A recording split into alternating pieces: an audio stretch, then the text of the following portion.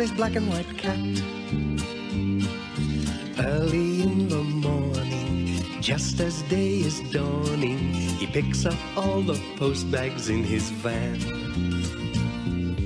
Postman Pat, Postman Pat, Postman Pat, and his black and white cat. All the birds are singing, and the day is just beginning. Pat feels he's a really happy man. Everybody knows his bright red van. All his friends will smile as he waves to greet them. Maybe you can never be sure there'll be knock, ring, letters through your door. Postman Pat, Postman Pat, Postman Pat, and his black and white cat. Birds are singing, and the day is just beginning. Pat feels he's a really happy man. Pat feels he's a really happy man. Pat feels he's a really happy man. Boom, boom, boom, boom, boom, boom. What a lovely day, said Pat to Jess as they drove along the valley on a fine sunny morning.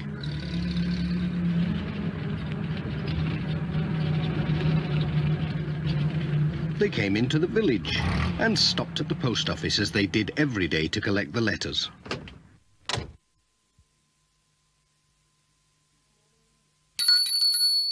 Good morning, Pat called. Morning, Pat, said Mrs. Goggins. Looks like a busy day for you. Lots of letters and parcels. well, at least it's a nice day for it. That's odd, said Mrs. Goggins. Most of the post seems to be for Katy and Tom Pottage. Ah, but of course it's their birthday. Oh, so it is, said Pat. Won't they be excited when they see all these parcels? They are lucky. I remember when I was their age, waiting for the post. Hey, I'd better be on my way. They'll be looking out for me. Well, I'll be off. Goodbye. Boom, boom, boom, boom, boom, boom.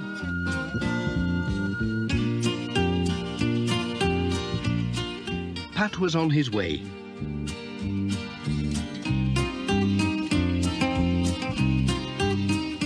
Before going to the pottages, he had to call at the village school.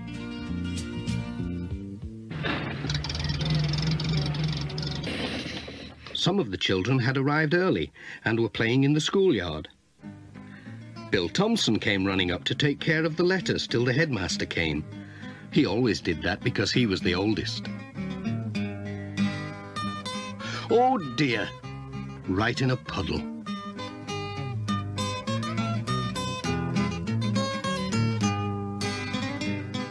Sarah and Lucy Selby asked Pat if he was good at hopscotch because they'd just had new lines painted in the yard. Well, it's a long time since I played, said Pat, but I'll have a go.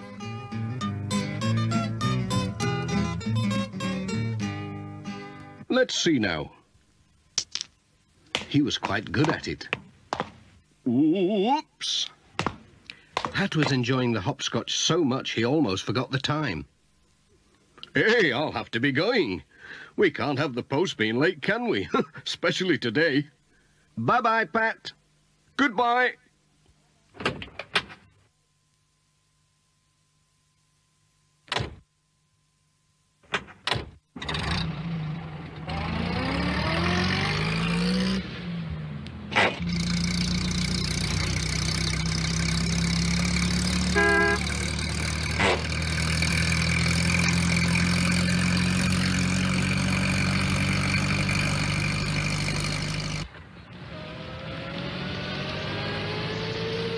Pat turned in at Greendale Farm.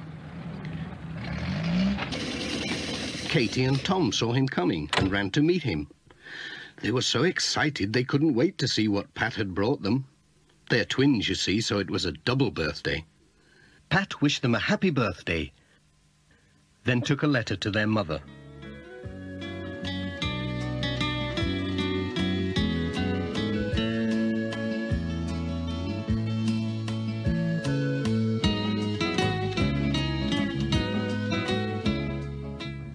Tom's present was just what he wanted.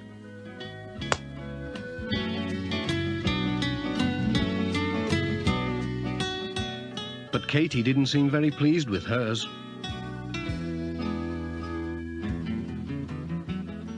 What's up with Katy? asked Pat. Mm, she's wrong side out today, said Mrs. Pottage. She's lost Sarah Ann. Sarah Ann? Is, is that the little doll she takes to school? She takes it everywhere. She's lost without it. I don't know what we'll do if it doesn't turn up. Oh, it's sure to turn up somewhere. Trouble is, it could be anywhere. We went to see Aunt Alice yesterday and called at lots of places. She could have left it anywhere. Don't worry, I'll look for Sarah Ann, said Pat. I might come across her. I'm good at finding things, you know. we'll get her smiling again, you'll see. Cheerio. Come on, Jess. We've work to do.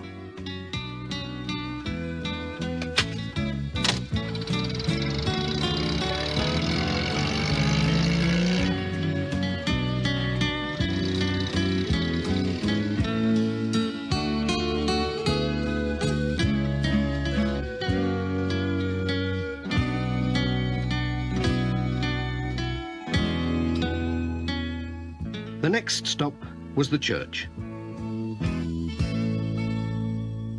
The Reverend Timms heard Pat's van coming.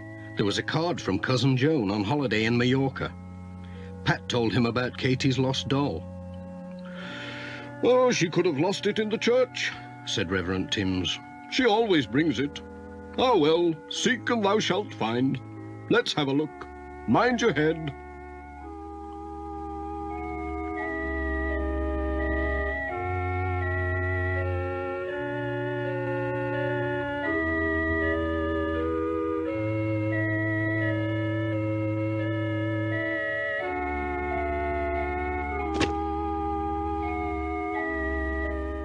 Found anything?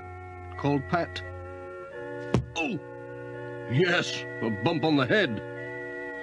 At last the Reverend Timms did find something, but it wasn't Sarah Ann. It was a lady's glove. It had the letters DT sewn inside. DT, said Pat. Dorothy Thompson, that's whose it is, I'm sure. I'll take it along for her. She will be pleased. Well, I hope Katy's doll turns up somewhere, said the Reverend Timms. We'll just keep on looking till it does, said Pat. Thanks for helping. Cheerio.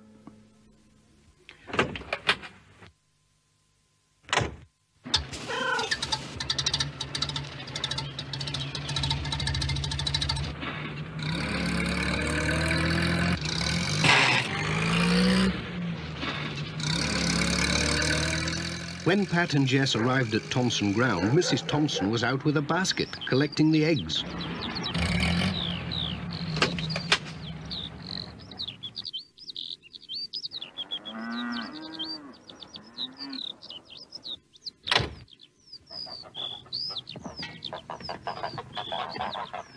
She was surprised when Pat gave her a glove with her letters.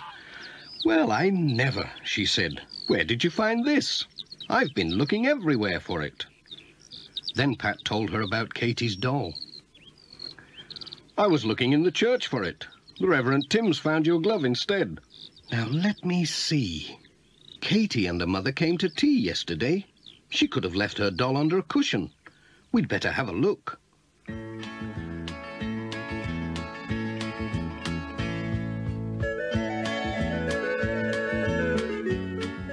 They searched everywhere.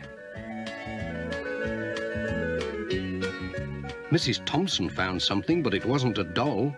It was a penknife. Hey, that looks like Ted Glen's knife. Goodness knows when he left it here, said Mrs. Thompson. Would you take it along for him? He will be pleased to have it back. Yes, I'll take it.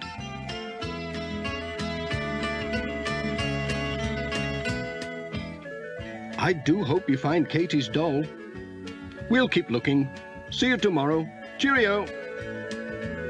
Bye-bye, Pat.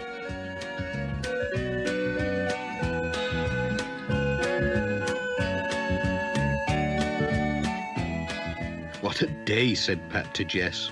We found a glove and a penknife but no Sarah Ann. I wonder if there's any chance of finding her at Ted Glen's.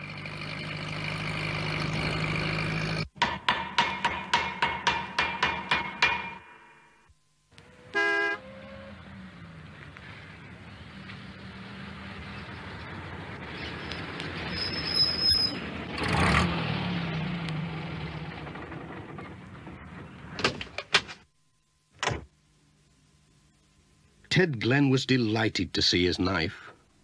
He couldn't guess where Pat had found it. When Pat told him about Katie's lost doll, Ted said, eh, She was here yesterday with her mother. Uh, they brought a lamp to repair. So they went to look in Ted's workshop.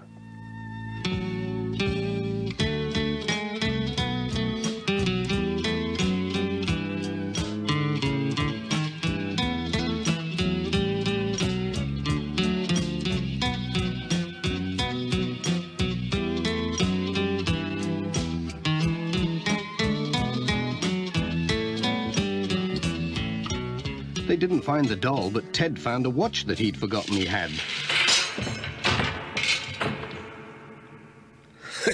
Enjoying yourself, Pat?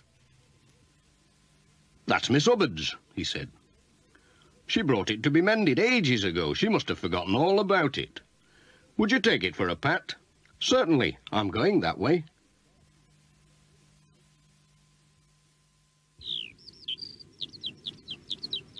I hope you find the lassie's doll, said Ted. So do I, said Pat. I seem to be able to find everything else. Bye, Ted. So long, then.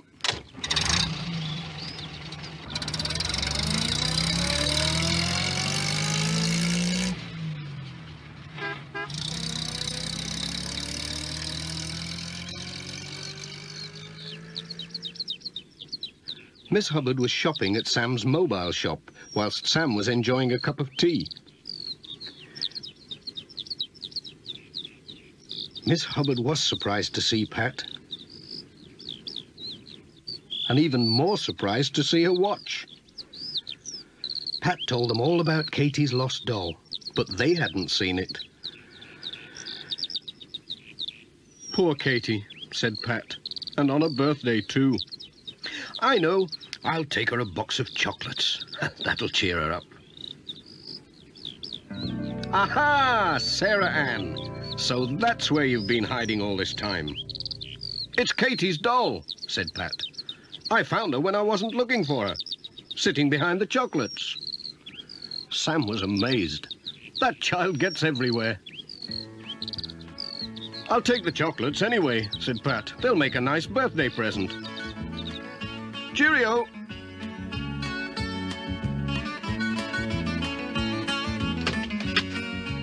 Here she is, Jess. Keep an eye on her.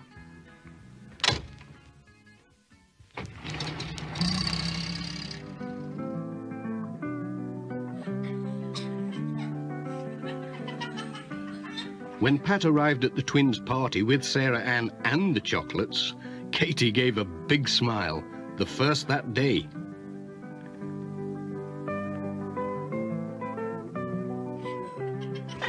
Jess joined in the party. And Pat had a piece of cake.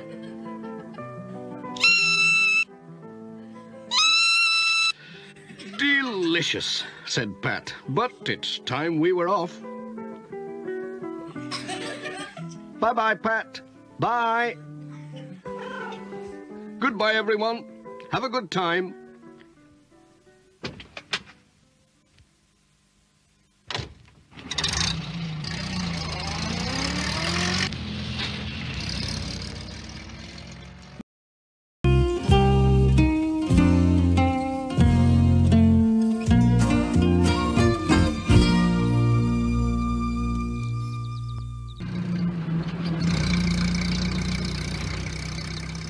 One sunny morning, Pat was hurrying along the road with a van full of letters and parcels for the people of Greendale.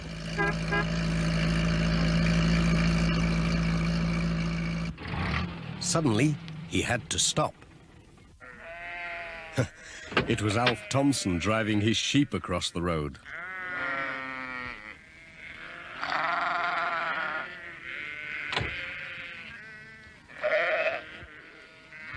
Don't worry, Jess. They won't eat you. The sheep went into a field, and Pat was on his way again.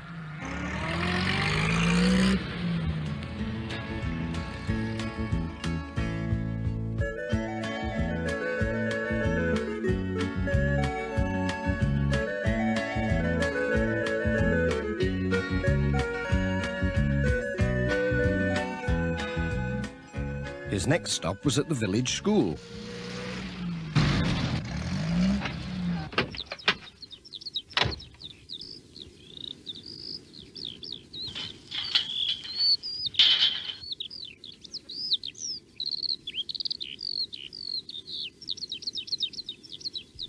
Where is everybody? The children were bringing things to school for a display. Charlie Pringle had a bunch of flowers. Lucy Selby had brought a basket of eggs. My, your hens have been busy. And Tom Pottage had some day-old chicks. Hey, mind how you go. Whilst looking at all these things, Pat had forgotten his letters. But Bill Thompson came along with a cup of tea. Thank you, said Pat. And Bill took the letters. Sarah Gilbertson came for his cup. Have you done? she said. Nearly. Thanks, Sarah. That was grand. Goodbye.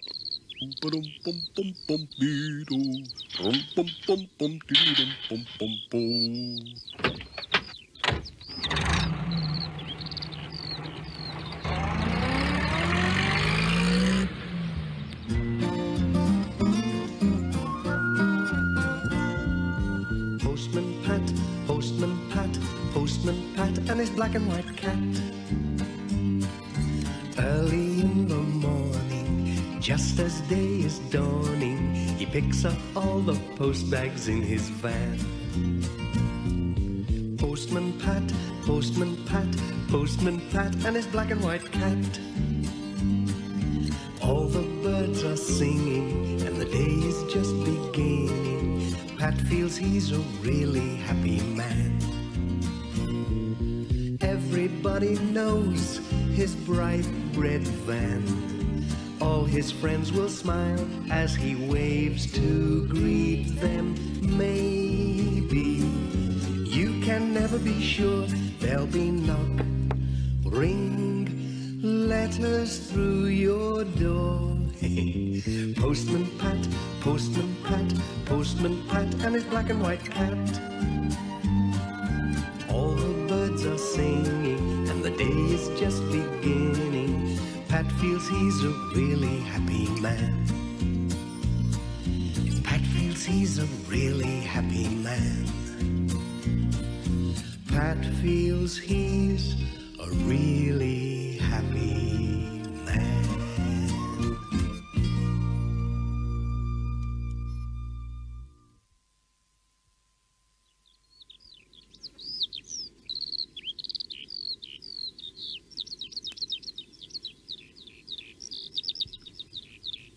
Was getting on well with his round. He locked his van, and as it was a nice day for a picnic, he took his sandwiches to a field on the hill above Thompson Ground. E, it's been an easy day today.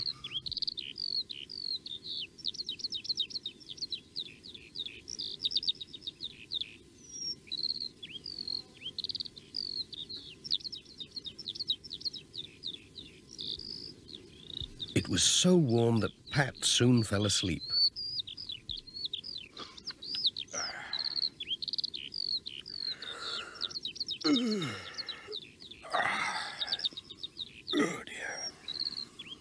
But Mrs. Thompson's hens were wide awake, and Pat had left his sandwich box open, with his keys neatly beside it.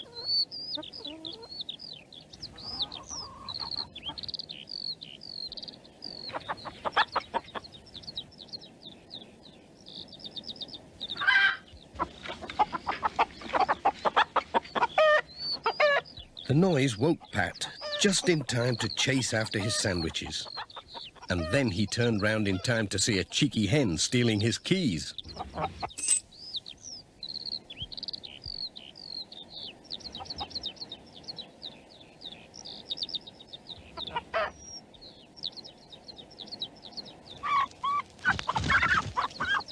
Oops!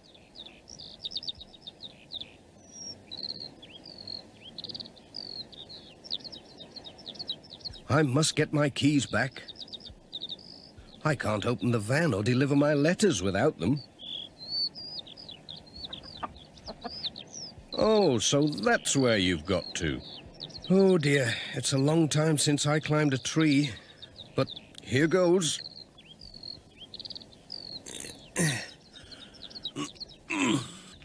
Oops.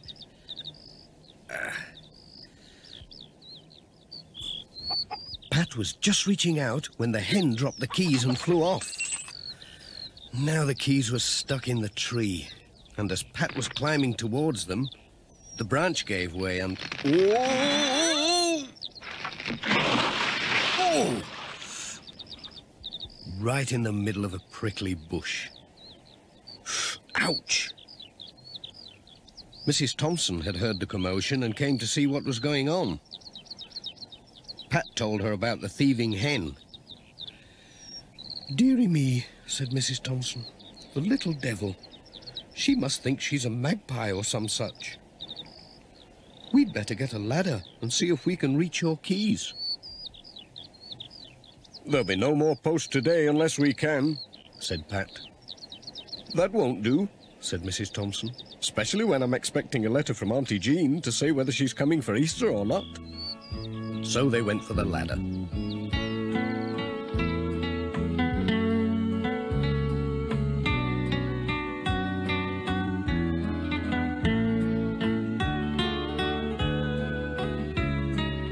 I'll take it now.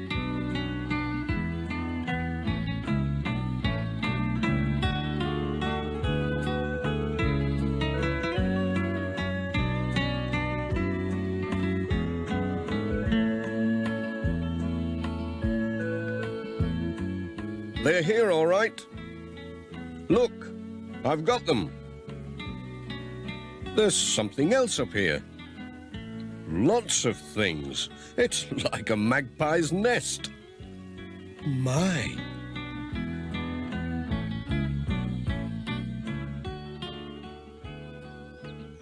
He brought everything down to show Mrs. Thompson.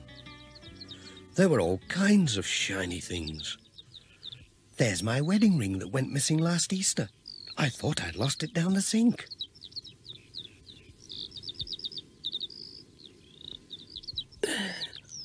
That's all right.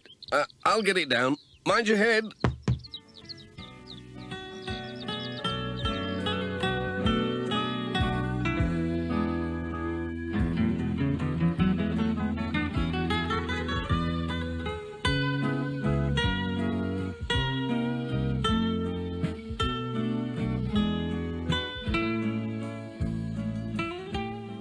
Hens have stolen your sandwiches, you'd better come and have some dinner with me. There's plenty to spare. That's very nice of you.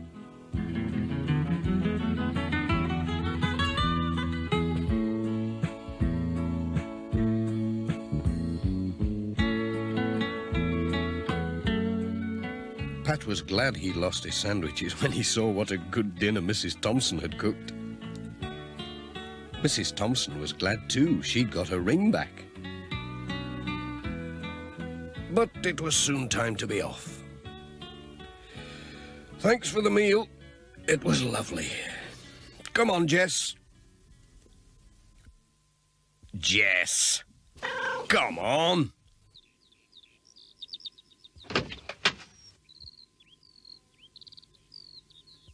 Just fancy, said Pat. A magpie hen. Who ever heard of such a thing?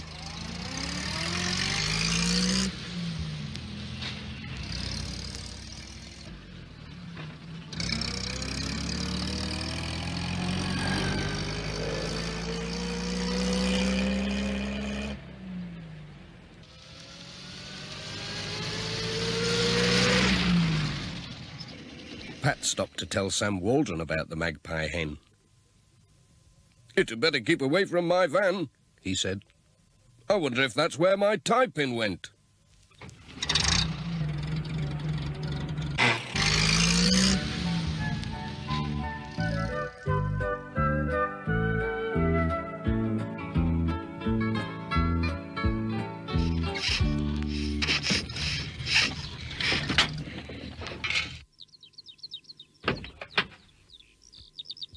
Hmm, sounds odd.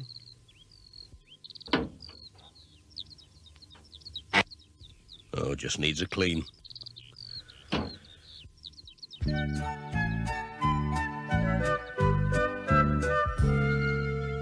When Pat saw Miss Hubbard, he told her about the magpie hen. Well, I lost a silver earring last month, she said. And a hat pin. I wonder if they're up a tree somewhere. I must go and see Mrs. Thompson.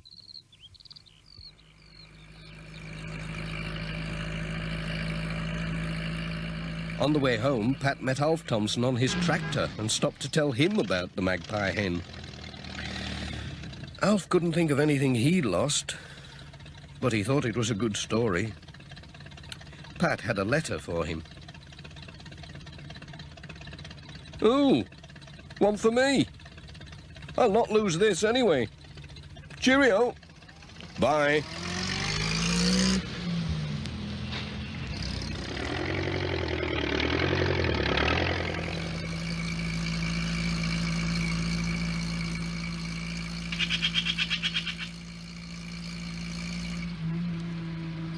Saw some real magpies on the way home and wondered if they had taught Mrs. Thompson's hens to steal. As for Jess, he was asleep.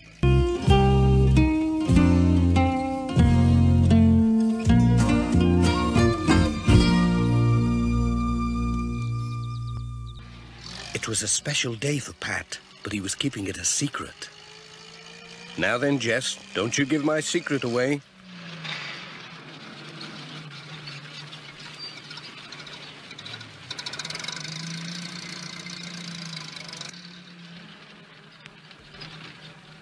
Mrs. Goggins was looking out for Pat. She was very pleased about something. Hello, Pat, she said. There's a lot of post today.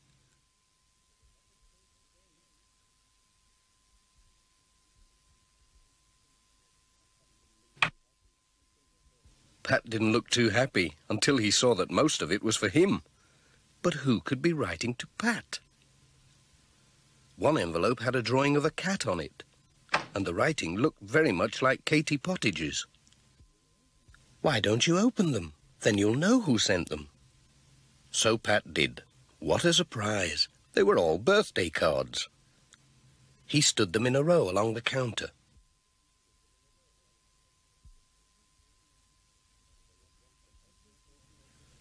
There was one from every person on his round. That was nice. But how did everyone know it was his birthday today? He'd kept it a secret all these years, and now they all knew.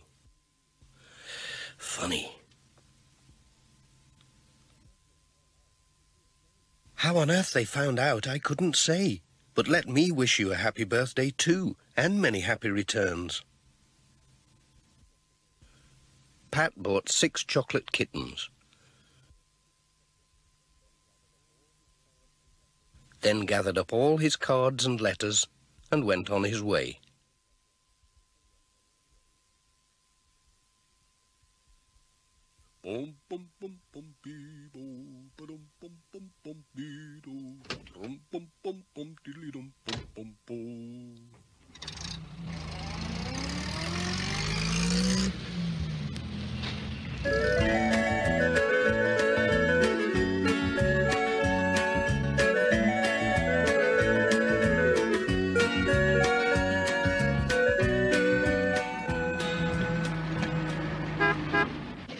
At Greendale Farm, the twins were looking out for Pat.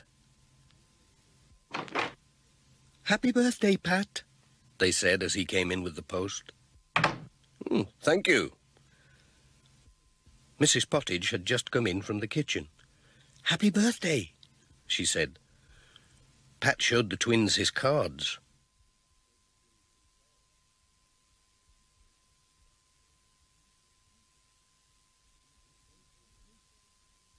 We've made you a cake.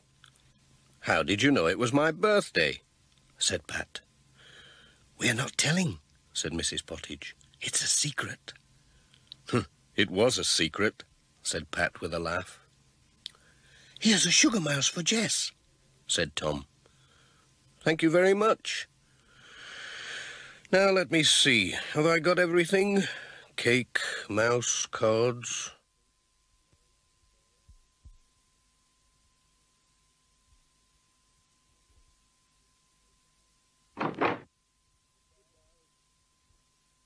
Goodbye.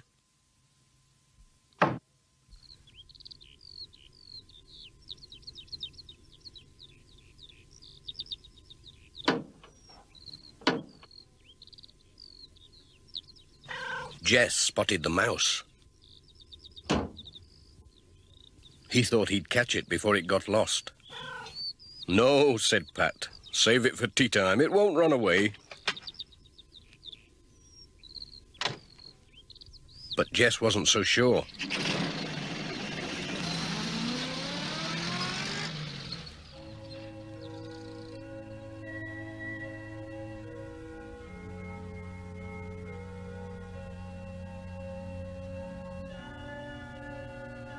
Hello, Reverend.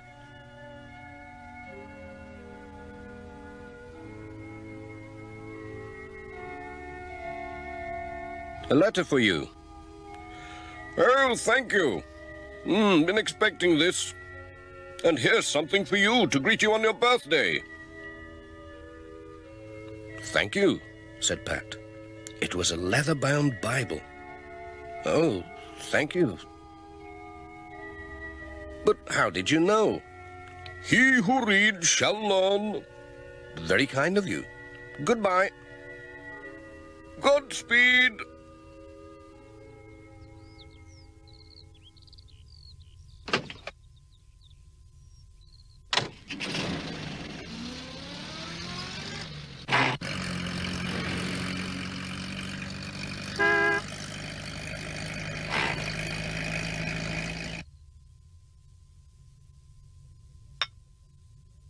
There were some letters for Thompson Ground. Come in. Pat arrived just in time for a cup of tea.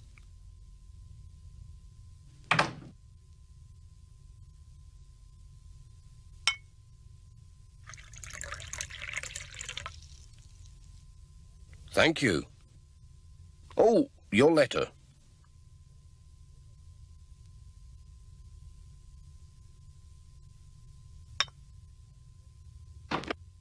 Alf Thompson came in. Hello, Pat, he said. Happy birthday. He gave him a walking stick with a handle made from a sheep's horn. He'd made it himself. That'll be good for keeping dogs off. Thanks, said Pat. But how did you know it was my birthday? Oh, you'll have to find that out for yourself. Just keep your eyes open, said Alf, smiling. You're quite a famous postman, you know.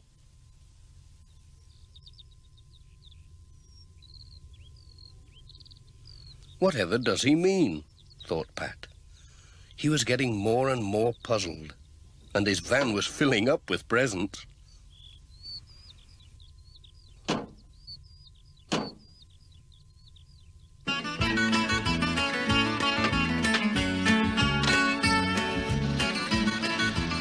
Jess didn't like the stick.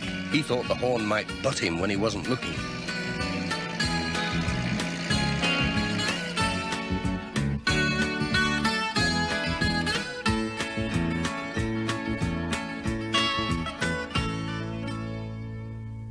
Granny Dryden was busy cooking when Pat arrived with the letters.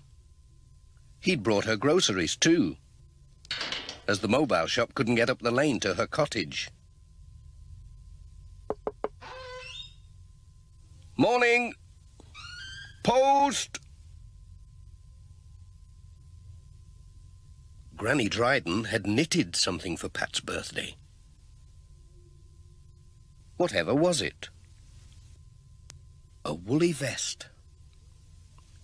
It'll keep you warm in the winter, said Granny Dryden. it looked very itchy. But Pat said, Thank you, it's, it's just the right size. How did you know it was my birthday? Eh? I can't hear a word you say, said Granny Dryden.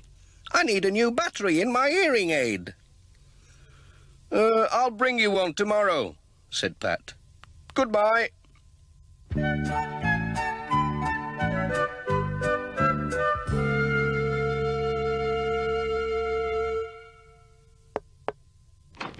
At Miss Hubbard's cottage there was a glass of fruit juice waiting for Pat. There were two letters for her. Miss Hubbard drank his health and wished him a happy birthday. Cheers.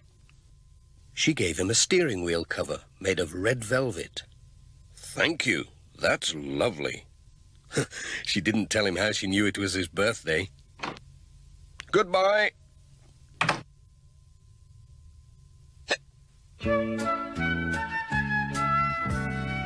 At Intake Farm, George Lancaster showed Pat his special prize hens. They look champion, said Pat. They are, they're champion layers, said George. Just look at that. He gave him two dozen for his birthday and a dozen for the village school. Thanks for the eggs, George. Then Sam Waldron arrived and gave Pat a punnet of strawberries and a carton of double cream for his birthday tea. Thank you, Sam.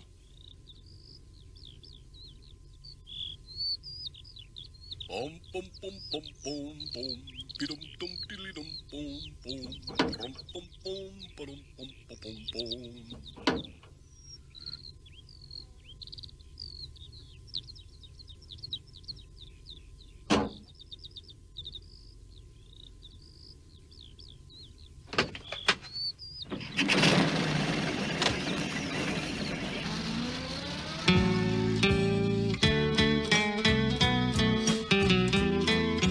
Lucy was on the lookout for Pat at the village school.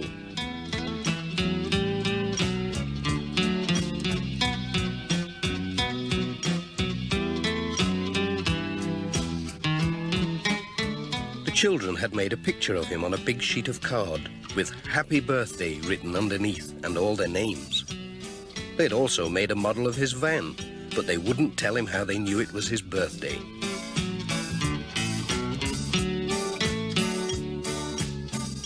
Pat had presents for them, a chocolate kitten each and the eggs from George Lancaster.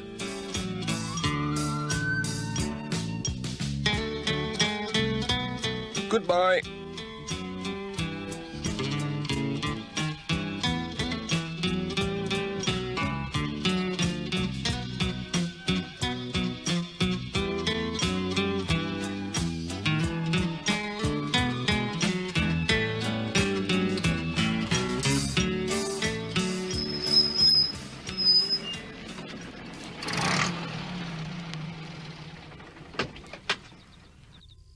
Day's round was nearly finished.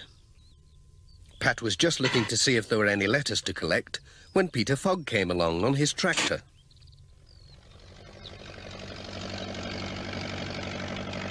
He stopped to wish Pat a happy birthday. Pat told him how everyone seemed to know about it. Don't you know why? said Peter Fogg, laughing. I wish I did, said Pat.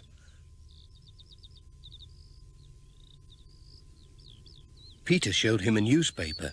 It was this week's Pencaster Gazette. Have a look at this, he said. Pat was amazed.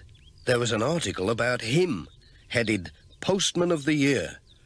It told all about his work, how he helped everyone, where he was born, and the date of his birthday. Well, said Pat, how did they find all that out? Keep it as a souvenir, said Peter. Thanks, said Pat. I'll show it to the wife.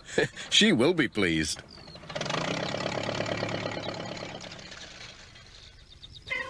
All right, Jess, I'm coming. I know it's been a long day, but we're off home now.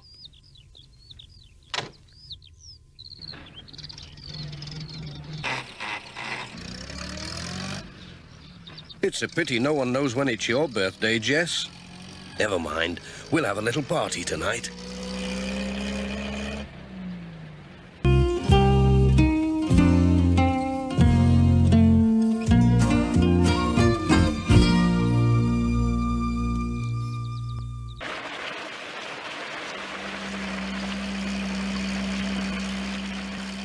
Ooh, another nasty day, said Pat. Jess looked out at the rain. He hated wet days. What a day. Wet letters, wet everything. It was still raining when Pat reached the village post office.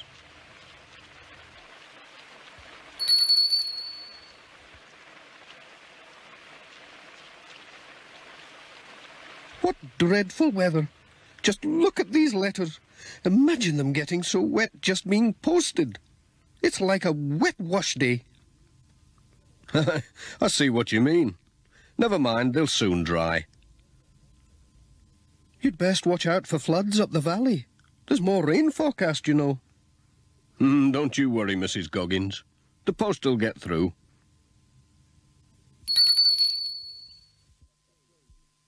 Oh, it stopped raining. Cheerio. Pat was on his way.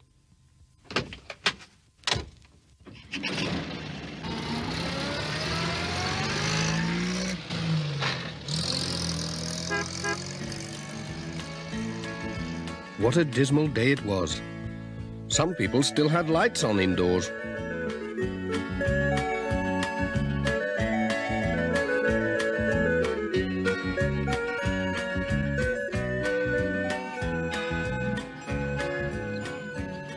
What had happened to Peter Fogg? Pat stopped to find out. It's this blooming rain. My old tractor's bogged down in the bottom meadow. It's half flooded down there. Then I went and fell in the mud. you look as if you've had a bath in it. I just about have. I'm off home for some dry clothes, then I'll get the new tractor to pull the old one out. Good luck, said Pat. I think it's fairing up now. Cheerio.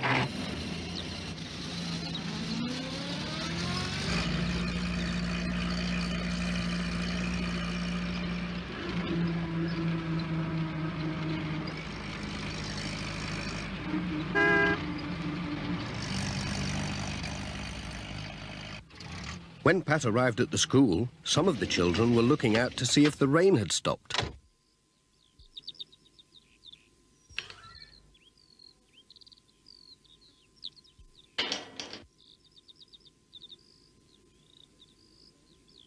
He was surprised to see Charlie Pringle running out for the letters instead of Bill Thompson.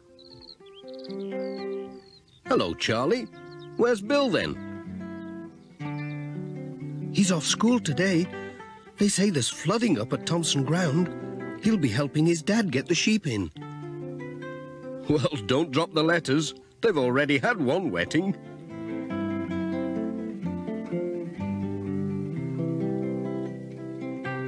it's nice to see someone enjoying the rain, thought Pat.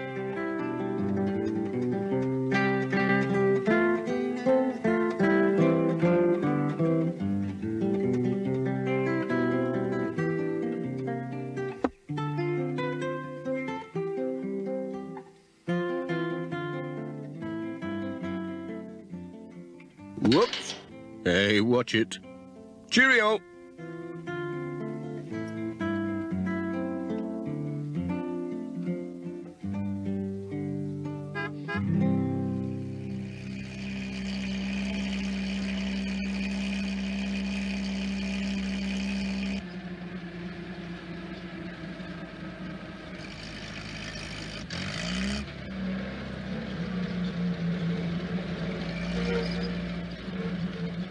Greendale Farm, he saw Peter Fogg again. He'd changed his clothes. Here, Pat. Come and have a look at this. He showed Pat his new tractor with its bulldozer blade. This'll shift anything, he said. Bet it would, said Pat. Oh, here's your mail. Ota. Bye.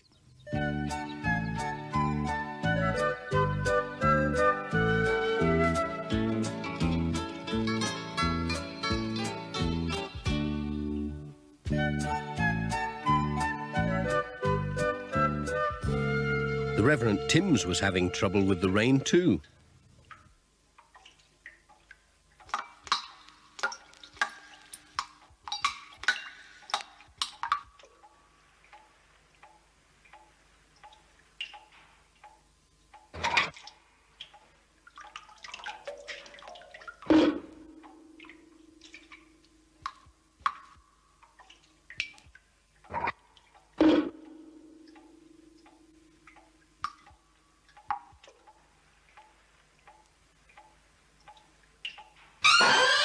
Good day, Pat, said the Reverend. The rain rains on the just and the unjust. Look out. I'll ask Ted Glen to bring his ladders and have a look at that roof, said Pat. Bye. Farewell, Pat.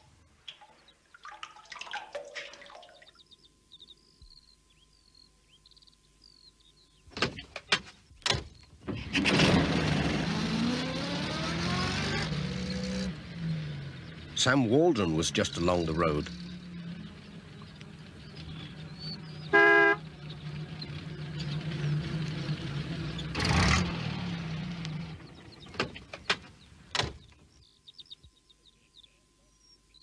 Take it steady, Pat, said Sam. The roads are flooding up the valley. the old van'll get me through, said Pat. I'll just take a bunch of bananas. The wife loves 'em. Thank you. Thanks, Pat. Jess was glad to stay in the van to keep out of the wet.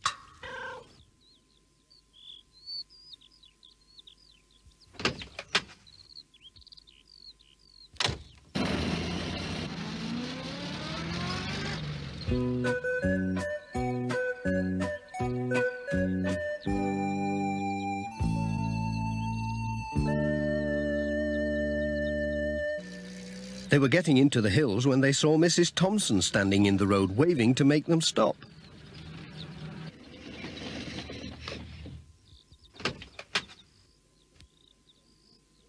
Hello, Mrs. Thompson. What's going on? said Pat.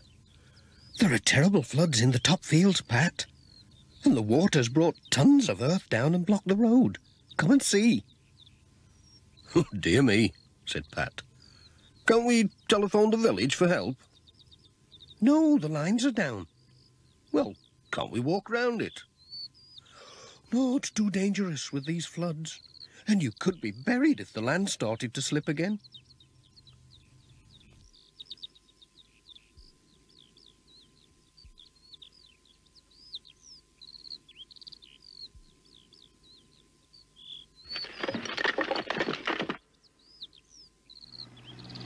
Here comes Alf.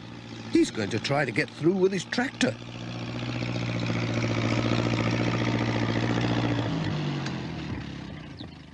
Do you think you can do it? said Pat.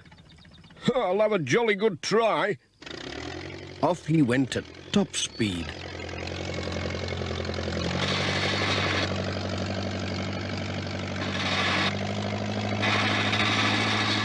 And got stuck.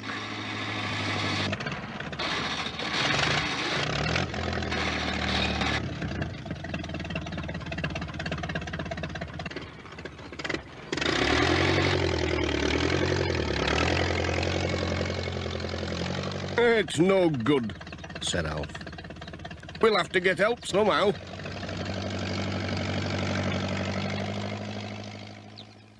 Then Bill came with his model aeroplane.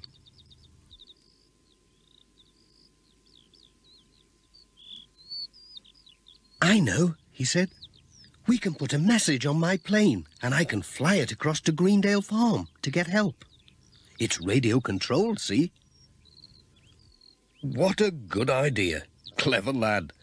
We'll send an airmail letter. So Pat scribbled a note. S-O-S. That'll do it.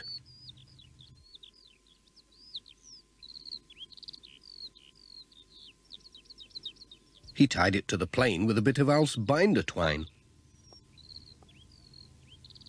Good luck. Let's hope it gets through. Oh, I think he'll manage it. He's a clever lad. He built it himself, you know. Bill started the engine, and off it flew.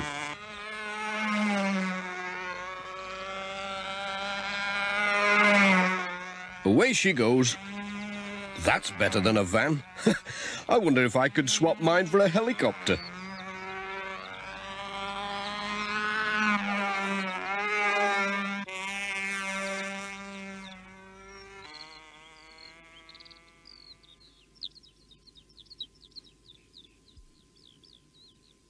It seemed ages since the plane had gone.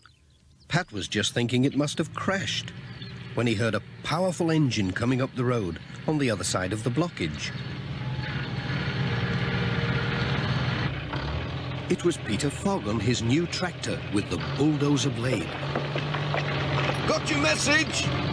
Mind your back!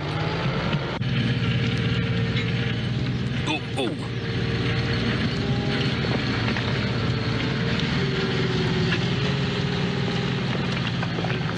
Right!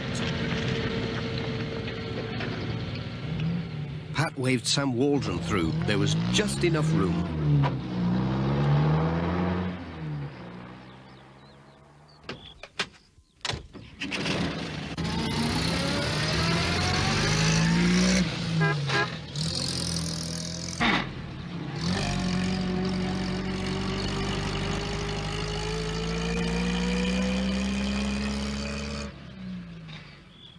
Ted Glen was mending a wall for Mr. Pottage.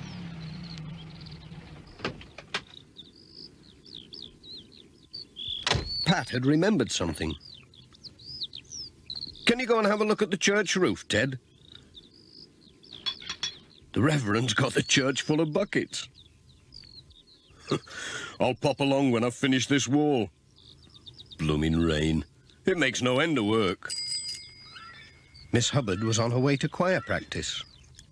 I'd turn back if I were you, said Pat. or you might have to swim home. Swim? said Miss Hubbard. It'll take more than a drop of rain to stop me. And on she went.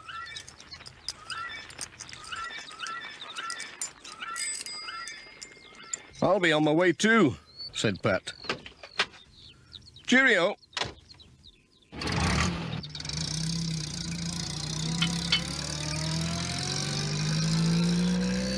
As Pat wound his way along the valley, it looked like rain again. But there was a warm fireside to look forward to. when all the letters had been delivered.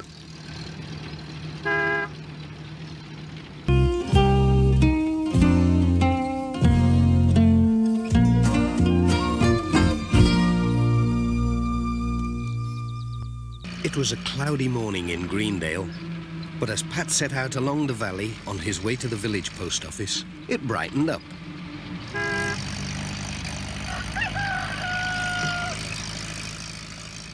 A large van was parked in the narrow road.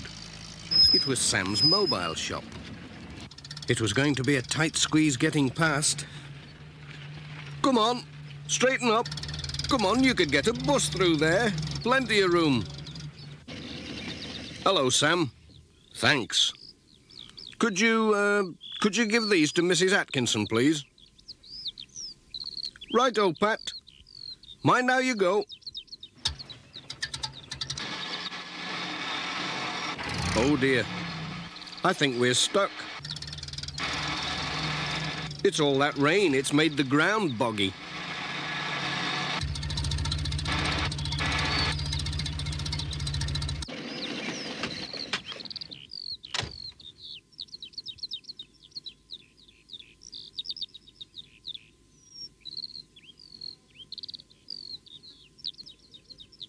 Hello, Pat. Still here? Yes, I am. I'm, stuck in the mud. I'll give Pete Fogg a shout as I go past. He can tow you out with his tractor. Hang on. Thanks, Sam. Ah, well.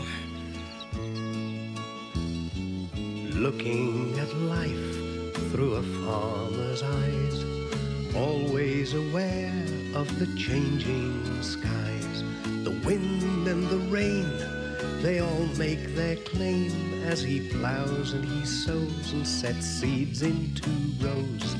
He sees all the wonders that nature can bring as he works all the year to bring rich harvests in. Looking through a farmer's eyes, always aware of the changing skies. Hedgerows with birds, wild animals and trees. In the bright summer sun, he sees busy honeybees, and he's working with nature as all round the farm. He'll try to make sure good things come to no harm. Summer and winter, seasons all through. There's never a time when there's nothing to do. Setting the crops and preparing the land, he always can do with a good helping hand. Looking at life through a farmer's eyes, always aware of the changing skies. He works between forests and valleys and hills, or the flat even plains with an unbroken view. But wherever it is, still the farmers can claim that they work for our bread with their harvests of grain. Wherever it is, the farmers can claim that they work for our bread with their harvests of grain.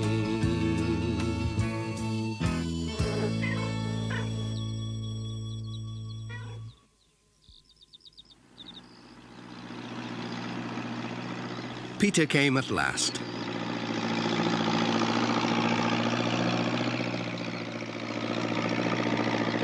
Hello, Peter. Can you tow me out, please? My van's stuck in the mud. Easy. Sam said you'd need help. Uh, I'll just back up.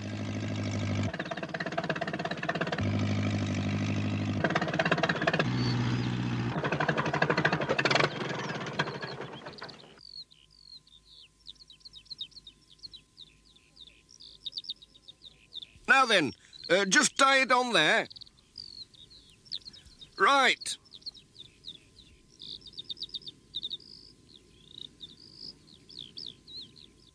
All right. Ready?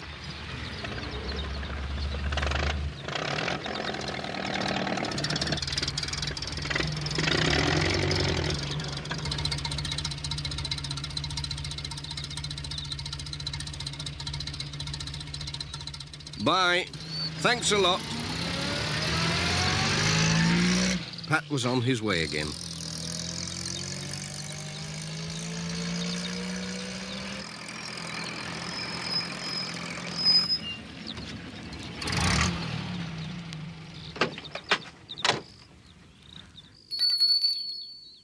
Morning.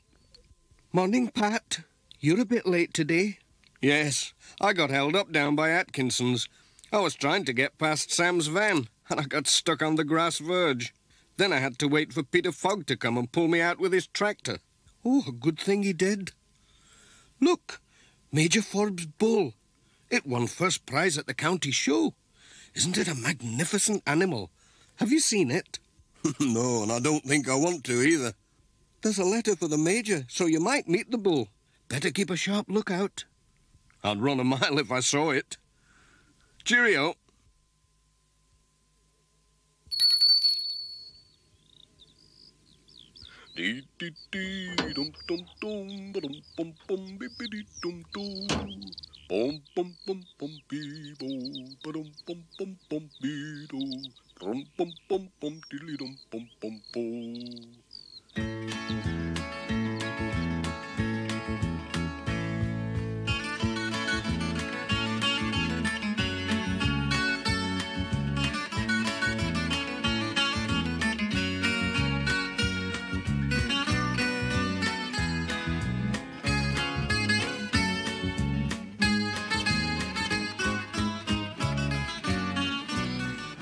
Ted Glen was waving to Pat to make him stop.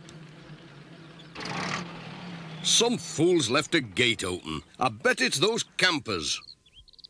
The sheep have got into the clover field. It'll kill 'em if they eat too much. Uh, can you give me a hand to drive drive 'em back? Yes, of course I will. I used to work on a farm when I was a lad. Have they gone far, then? You can see see 'em up there. They've spread out a bit. We'd better get after after 'em. Hang on, Pat. We've left a gate open now. We're as bad as the campers. I'll shut it.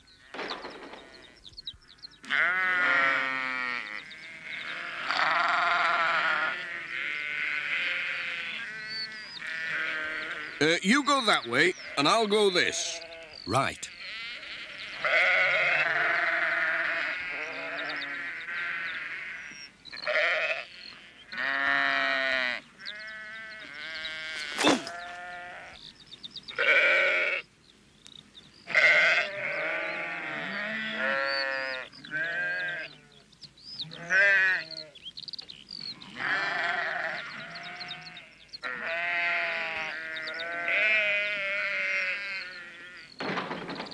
Phew. That was warm work. What's that funny noise? Hey up! It's that bull! Run!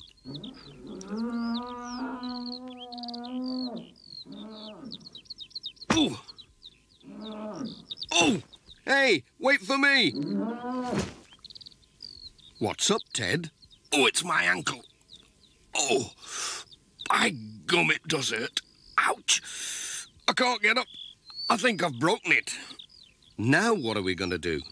You can't sit here till it gets better. I'd better go and get Dr. Gilbertson from the village. Won't be long.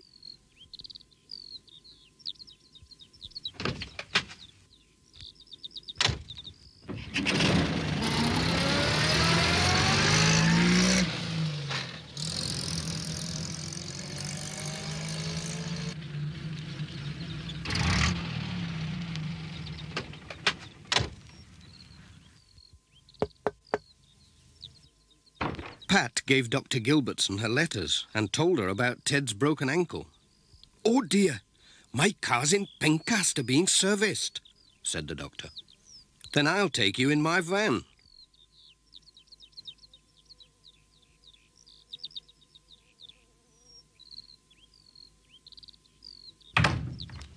So Dr. Gilbertson brought her bag.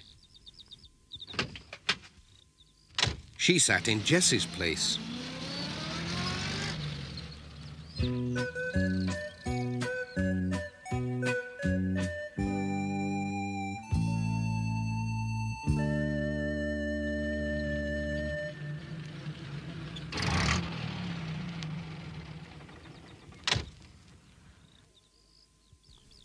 was glad to see the doctor.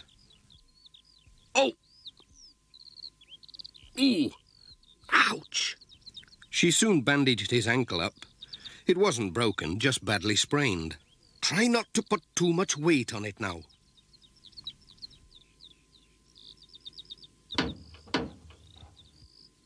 Pat's walking stick came in handy. Thanks, Pat. Oh. Eat by gum. You'll have to ride amongst the letters, Ted. Easy now. Oh, oh dear.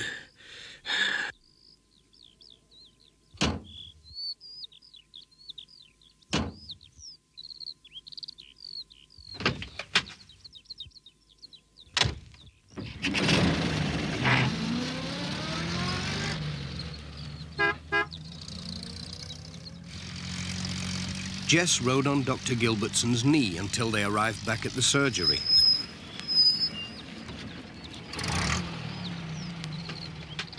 Bye, Pat.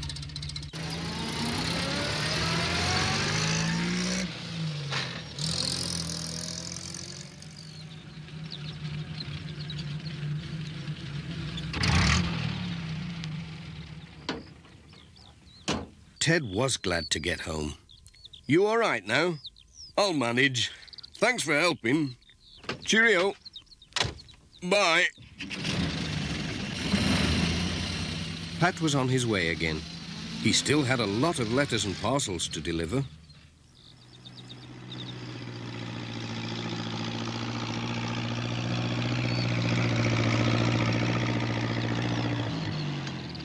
Hello, Alf. Hello, Pat. Uh, thanks for getting the sheep back. It's the same thing every year. Gates left open all over the place. We'll have to have words with them campers, won't we, Dot?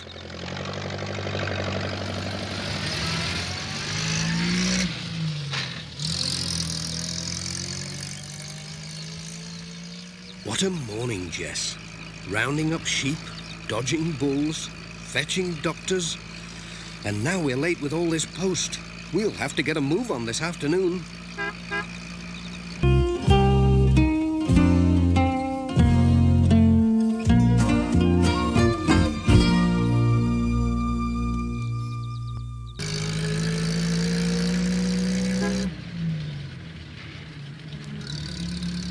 Lovely weather for people on holiday, said Pat. Every summer, lots of visitors came to Greendale to walk in the hills and camp in the valley.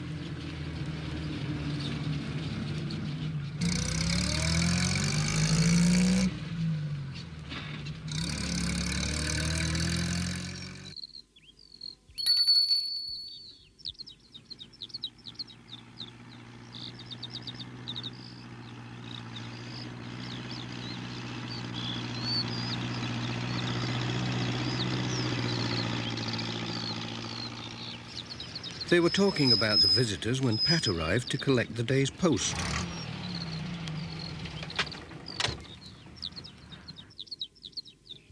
Morning, Mrs. Goggins. Fine day. Morning, Pat. Yes, and a busy one too. Plenty of post for the visitors. The Jacksons are staying up at Birkhow Cottage. There are some letters for them, so don't forget the extra call, will you, Pat?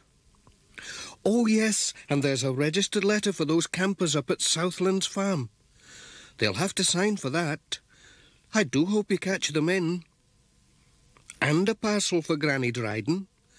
I wonder what that can be. it's a busy time with all these people on holiday, said Pat. I'll be glad when it's my holiday. Have a good day, Pat. I will. Cheerio.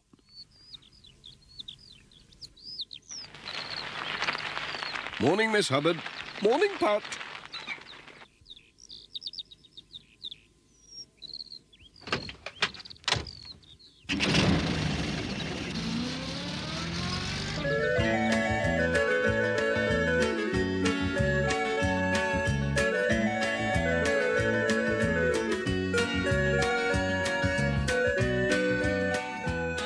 Delivered his letters all along the valley.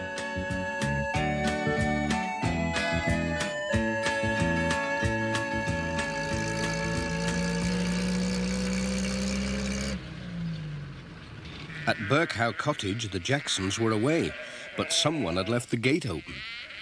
And something unfortunate happened.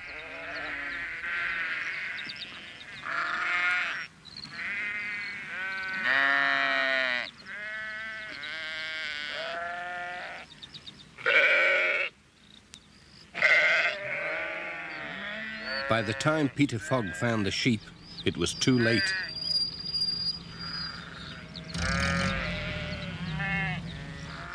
When Pat arrived with the letters, he saw the sheep in the garden and decided to help.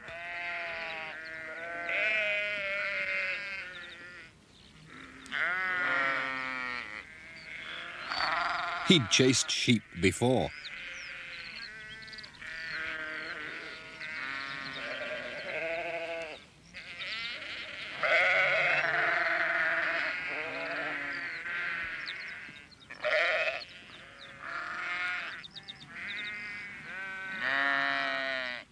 What a mess, said Peter.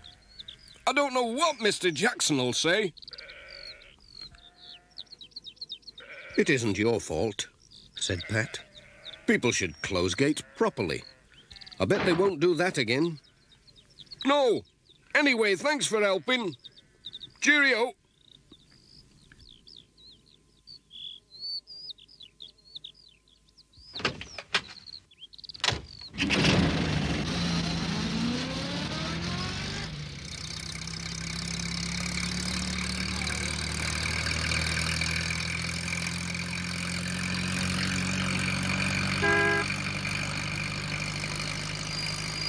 The next stop was at Granny Dryden's cottage.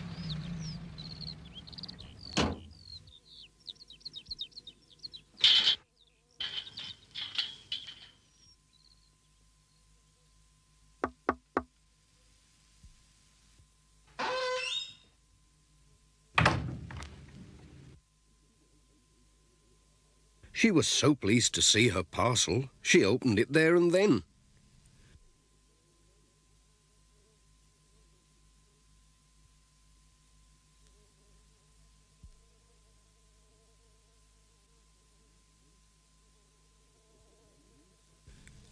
It was her new catalogue from Manchester. It was full of pictures of things to buy. Is there anything you'd like to order? Let's have a look. Ah. He chose a digital watch with a musical alarm. That's a funny watch. It doesn't look like a watch at all to me. Oh, it's a good one. It's a good one. It doesn't even need winding.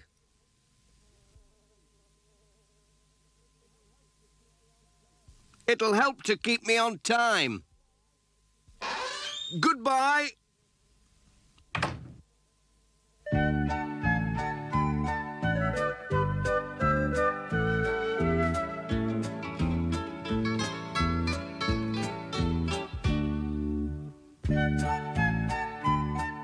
Pat was on his way.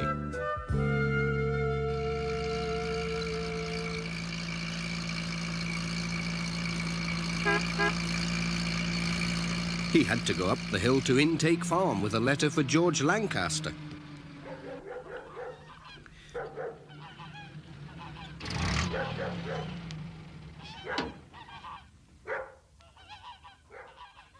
George didn't often get letters, so he was very pleased to see this one. Um, you'll be passing the campers, won't you? said George.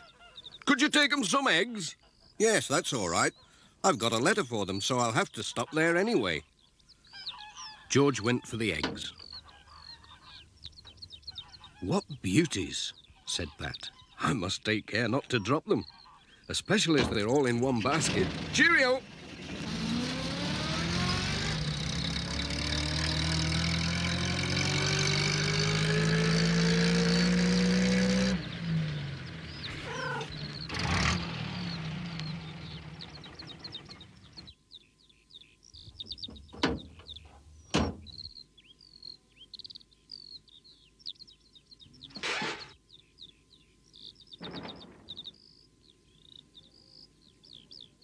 Hello? Anyone at home? A nuisance. They must have gone off for a walk. Well, I can tuck the eggs under here. They'll be all right. But what about this registered letter? I can't leave that. It looks too valuable, and they'll have to sign for it. I wonder if Miss Hubbard knows where they've gone. Miss Hubbard's cottage was just across the field, so Pat walked over to see if she was at home. He was lucky. She'd just cycled back from the village.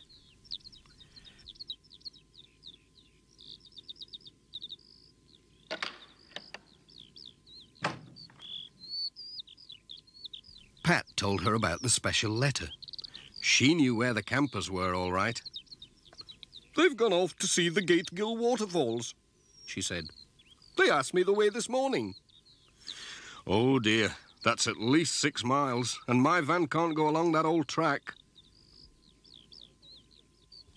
I'll borrow a tractor from the farm, said Miss Hubbard. Uh, I can't drive a tractor. Don't worry, I can. And off she went for the tractor.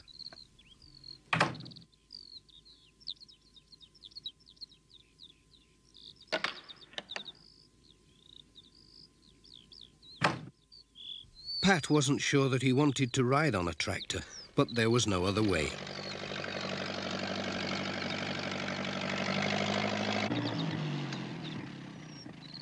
So he climbed on and off they went.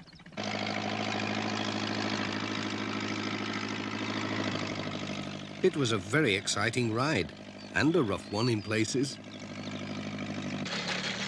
Hold on tight. Oh, that hurts.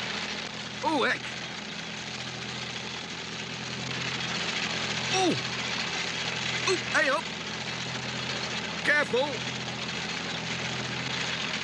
Only two more miles to go. Oh, thank goodness for that.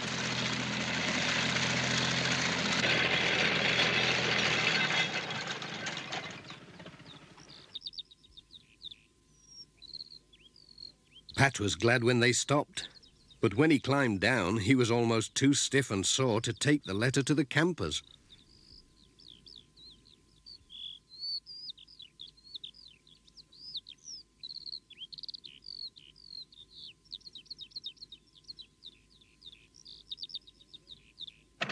And then they had to go all the way back again.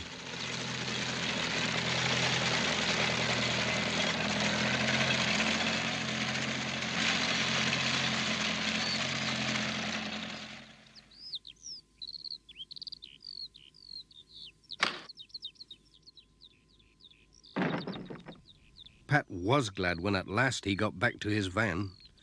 But what was Jess looking at in the back? It was one of George Lancaster's hens. It had got in somehow and laid an egg. She'll have to stay there until tomorrow, said Pat. But the egg, the egg will do nicely for my tea.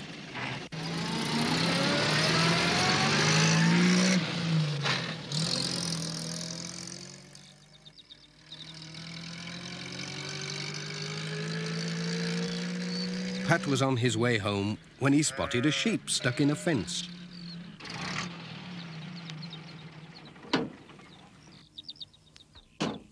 So he stopped to let it out.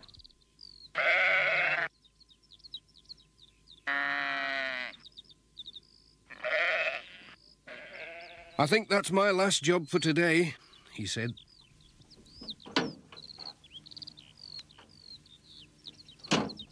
And off he went.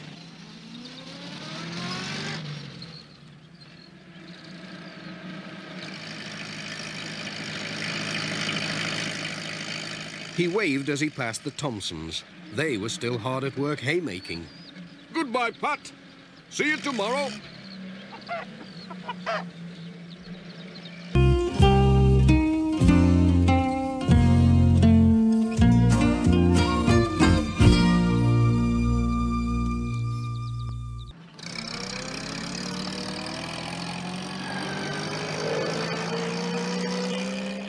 It was another hot day in Greendale. A very hot day. Everything was drying up. It's a real scorcher today, said Pat to Jess as they drove along. Phew, I'm thirsty already.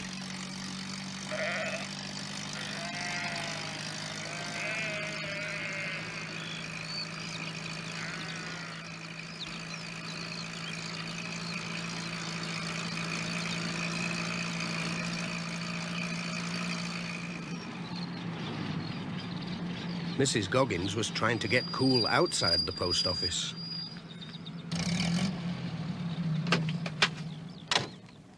Morning, Pat. Isn't it hot? And we're going to be without water today. I know, said Pat. The lake's really low. They're going to turn the water off this morning. Whatever will we do? but they can't turn off the lemonade. Here, have a drink, Pat, before you go. Ah, just what I need.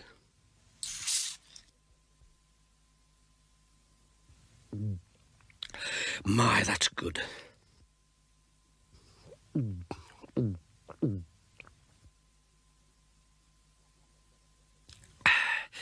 That's much better.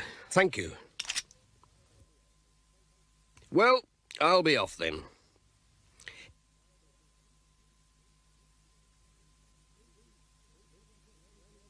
Hey, don't forget Granny Dryden's parcel. It looks like something special. I won't. And thanks for the drink. Cheerio.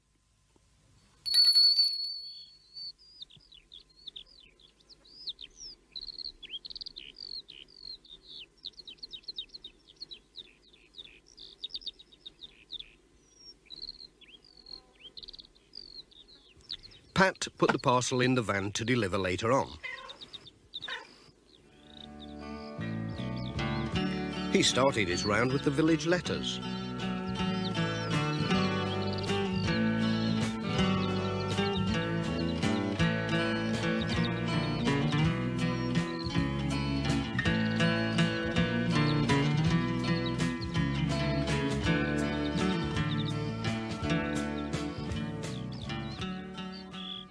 He met Granny Dryden out shopping and told her about the water being cut off. It's a pity the old pump's not working, She said, There were plenty of dry times in my young days, and do you know it never dried up, not once.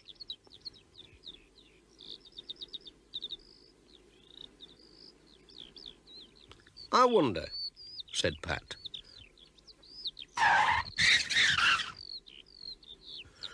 I wonder if Ted Glen could mend it. I must ask him.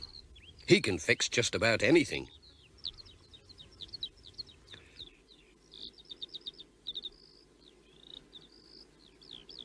Morning, Pat. Morning, Mrs. Pottage. Let's see, uh, I think I have something for you today. Oh, thank you.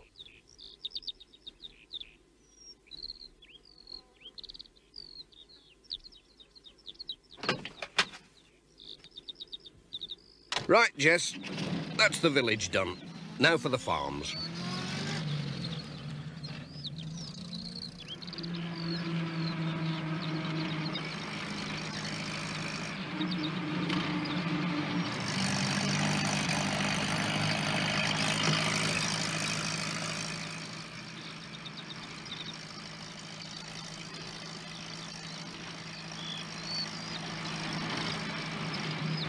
The water was already off at Greendale Farm. Peter Fogg was drawing water for the cows from the old well. Hello, Tom. Helping out?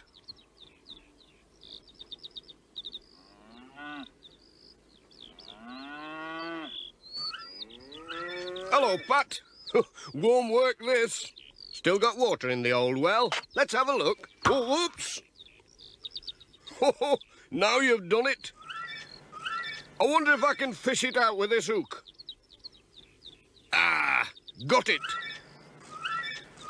It'll be nice and cool anyway.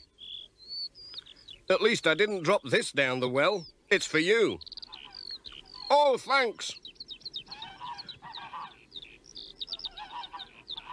Could you drop this can of water off at George Lancaster's place? There'll be no water up there. Sure, we'll be going past there, won't we, Jess?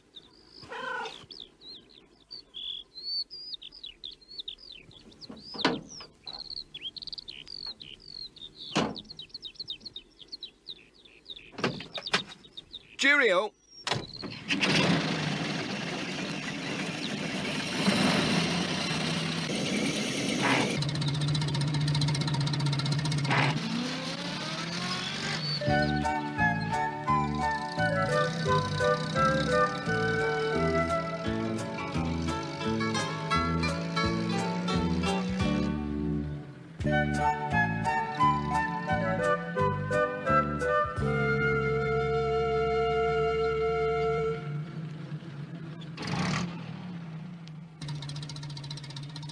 Pat. Isn't this drought terrible? We haven't got a drop of water left. Don't worry. If you look in the back, I've brought you a can from Peter Fogg. He said you'd be short. Thanks, Pat. That's grand. Cheerio!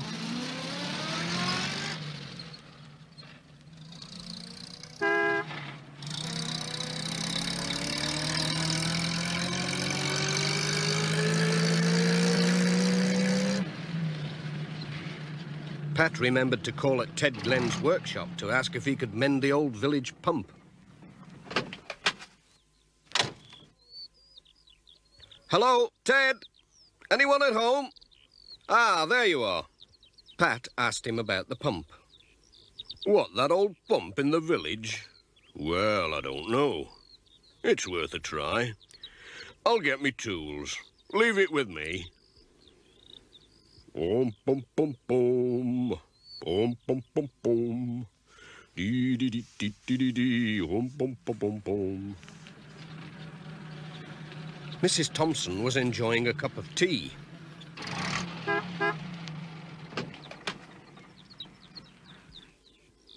Pat called with a letter.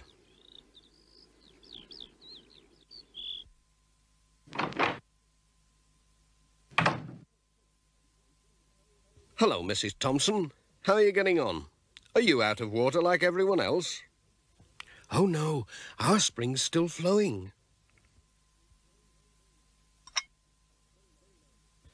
Ah, very nice too. I wonder how Ted's getting on.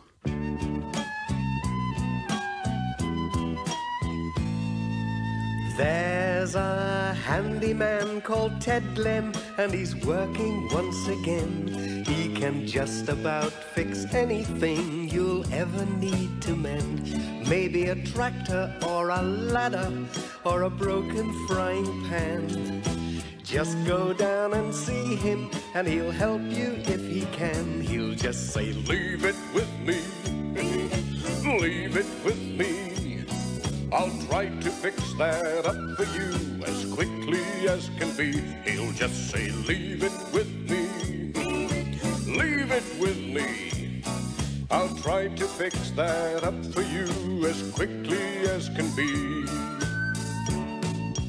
All the valley knows that he's the best of handymen. They all say, if you want things mended, go and see Ted Glen. A broken clock, or a horseshoe, or an engine in a van. Just go down and see him, and he'll help you if he can. He'll just say, Leave it with me. Leave it with me. I'll try to fix that up for you as quickly as can be. He'll just say, Leave it with me. Leave it with me. I'll try to fix that up for you as quickly as can be. He'll just say, Leave it with me.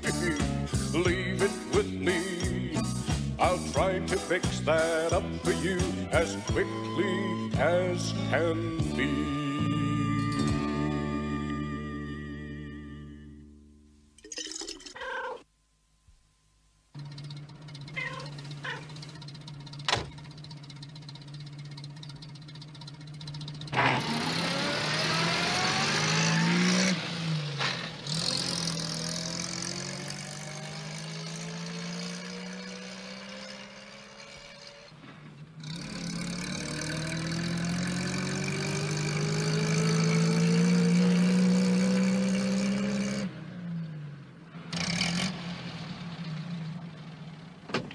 Granny Dryden was watching out for Pat.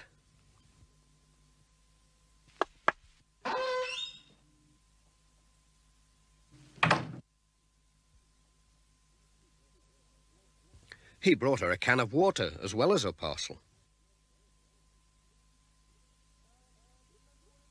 Um, remember what you said about the old pump? Well, Ted's mended it. It's going a treat. When she opened the parcel, she discovered it was Pat's new digital watch, which she had ordered for him from Manchester. Pat was very pleased with it. I'll always be on time now, he said. Thank you for getting it for me. Uh, I'll bring the money tomorrow. Look after yourself. Goodbye.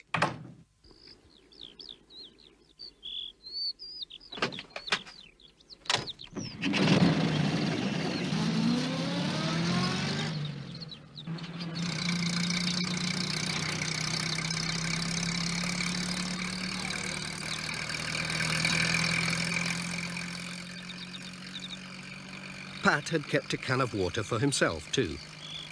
Jess kept a sharp eye on it. he didn't want another wetting, no matter how hot it was.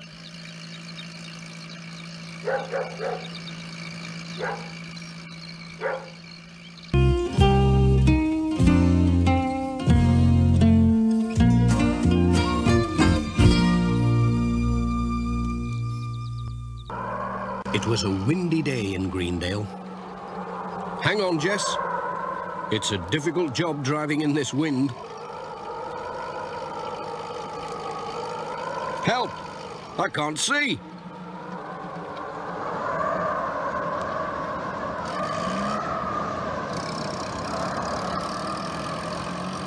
Alf Thompson was nearly blown off his feet.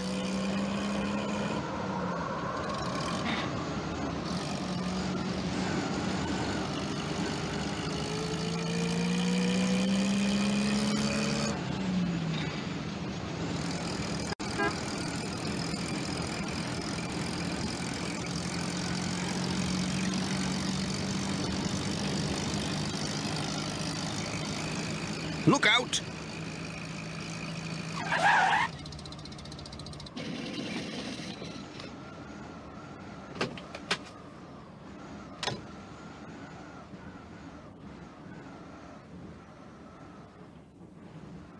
Hmm. How are we going to get past this lot? said Pat.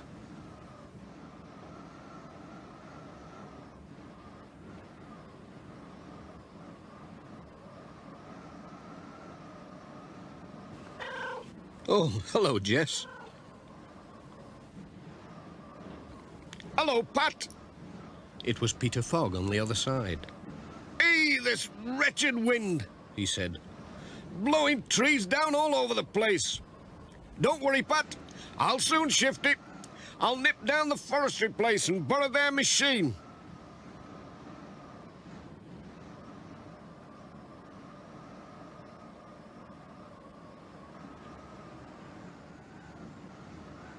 No wonder it blew over.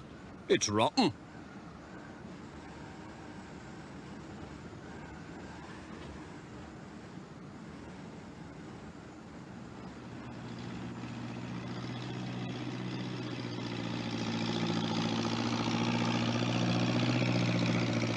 Peter was soon back with the log lifter and a power saw. Now then, we'll soon cut our way through.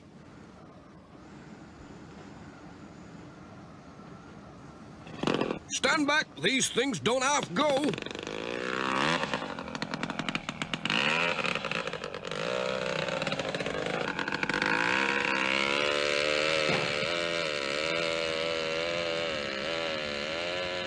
I'll just get these branches out of the way, Peter.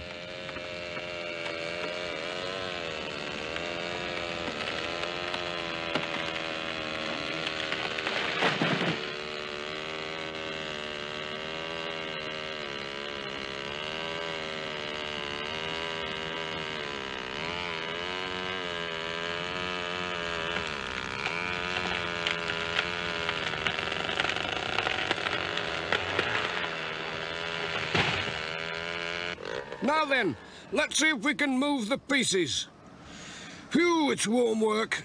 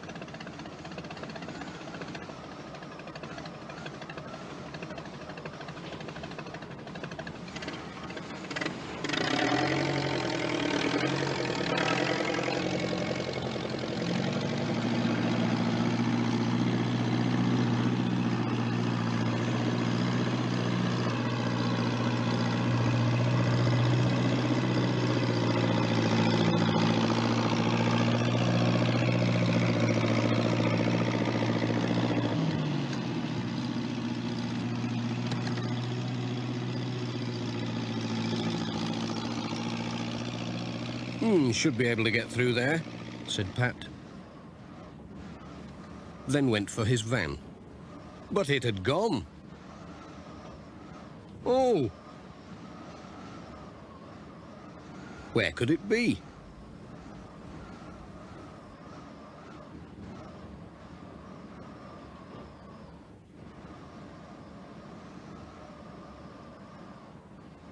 There it was, safe and sound. It was just along the road next to Sam's mobile shop. I moved your van down the road, said Sam. I could see your new paint was going to get scratched with all these branches flying about. Thanks, said Pat. It is smart, isn't it? Royal crown and all.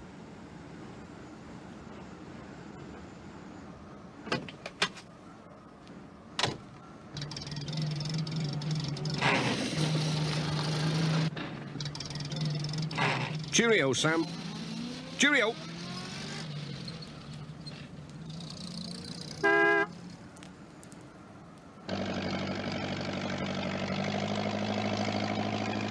Thanks, Peter.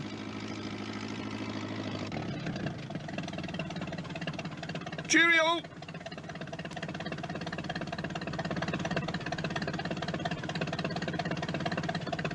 We'll have to get a move on now, Jess.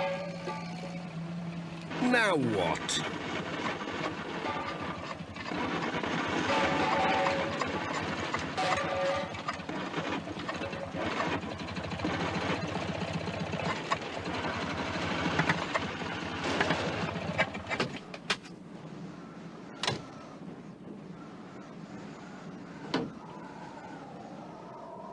Ouch!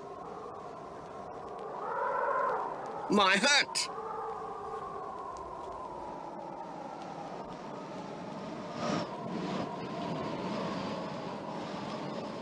Come here.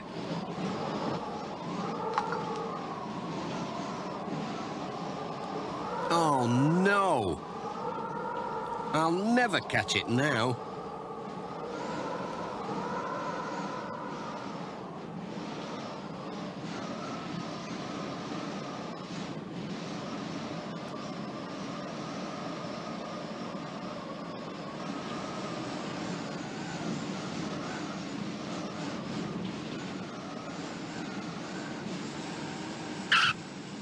It's that cable again.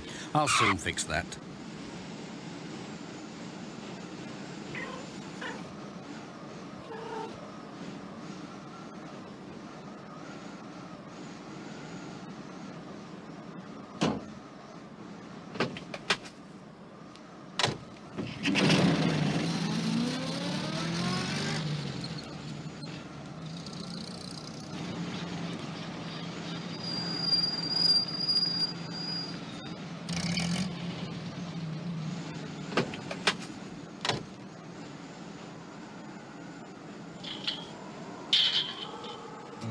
There was nobody about at the village school.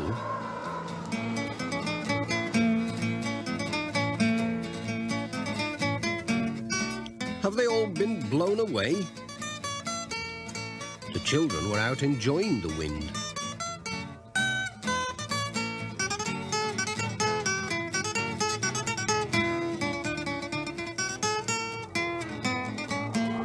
But the wind wanted to deliver the letters. In all directions. The children helped to find them.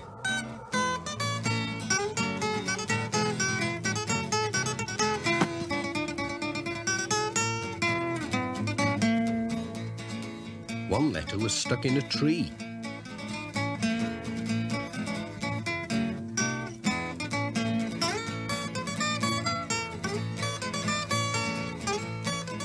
Careful.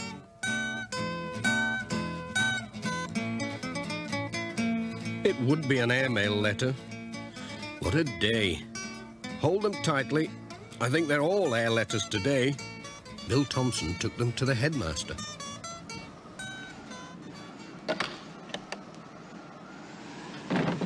And Pat waved goodbye.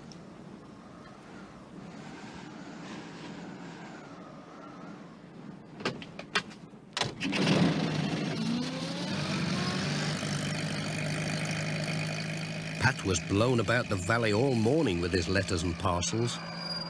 It was almost the end of his windy round when he saw a flying towel.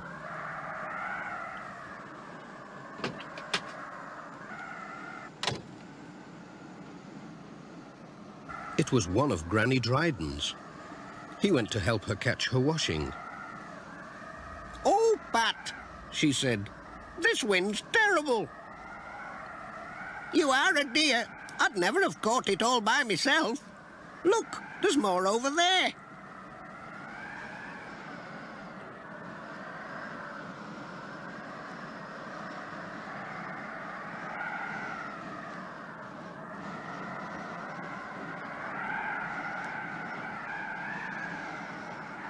Now we've got my washing. What about your hat? It blew off miles away and sailed down a stream. Good gracious, said Granny Dryden. Ted Glen said he'd a postman's hat out of the lake. I didn't see how it could be yours. Look, he popped it on the old scarecrow to dry. It looks like mine. It is mine.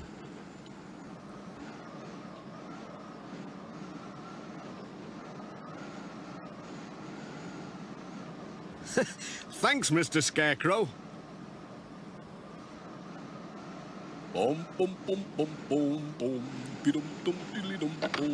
Time to blow home, said Pat.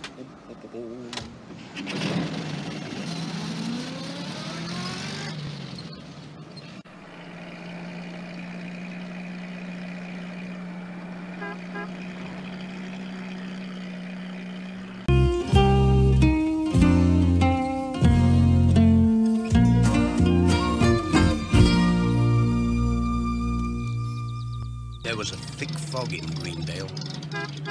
Pat had to go slowly along the winding lanes. Someone waved to him, but he couldn't make out who it was. Uh, good morning, he shouted. He was late when he reached the village post office.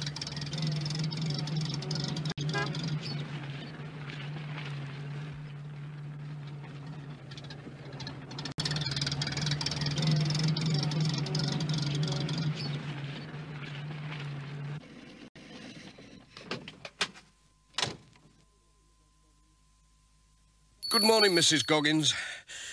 Sorry I'm late. No need to hurry, said Mrs. Goggins. There's no sign of the letters yet.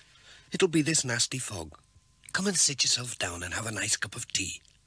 Thank you. That'll be lovely after that foggy drive, said Pat. I'll just brew up.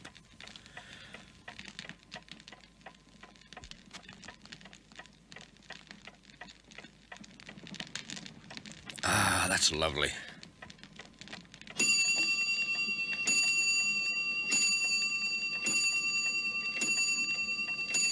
Pat was just getting warm and comfortable, and Mrs. Goggins was just bringing the tea and biscuits when ping went the shop's doorbell.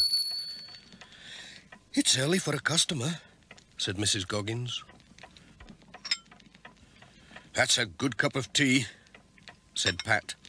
But Mrs. Goggins came in with the mailbag. It's here, she said. What, already? How did he get through so quickly? There's no fog down at Pencaster. It's only in Greendale. So he's not as late as we thought he'd be.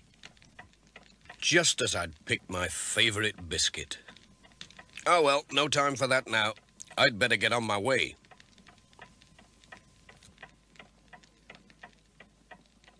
Hold on, Mrs. Goggins. I'll give you a hand. He helped to sort the letters. Not too many today, thank goodness, with all this fog about. Goodbye. Oh, and thanks for the tea. Mind how you go. it's as thick as ever out here.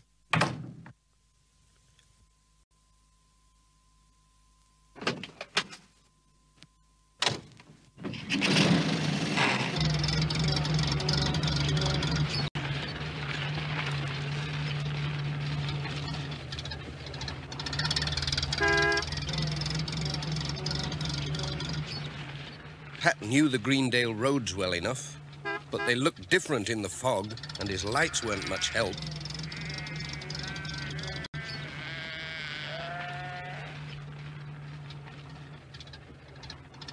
He must have taken a wrong turn somewhere, so he stopped by a signpost to find out where he was. Oh dear, it wasn't a signpost, only a crossroads sign. Now what? Pat didn't know which way to go.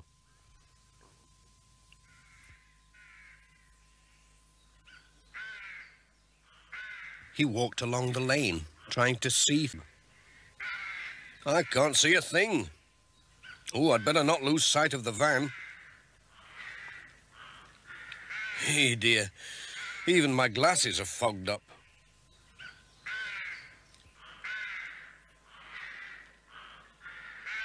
Then he saw someone standing in the field.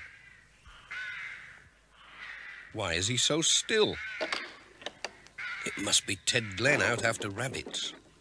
He'll know the way. I'll pop over with his letter and ask him. Pat walked up very quietly so as not to disturb the rabbits and touched Ted on the shoulder. Ted didn't move.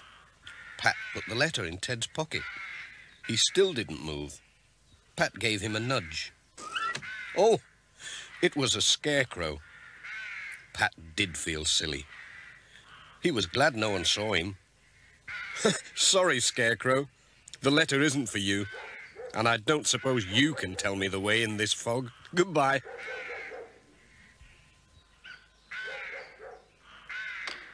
He was just wondering what to do when he saw some lights coming through the fog. It was Alf Thompson on his tractor. Luckily, he wasn't lost. He soon showed Pat which way to go.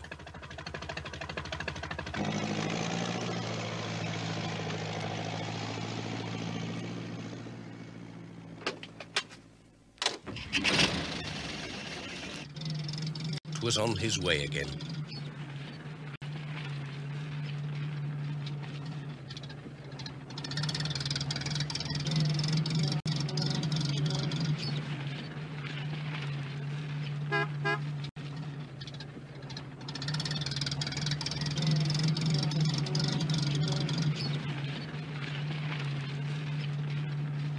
Saw Sam's mobile shop parked at the side of the road. Hello, Sam. this fog gets in your throat, doesn't it? Have you got any cough sweets? Uh, these'll do the trick, said Sam. Thank you. Thanks, Sam. Cheerio.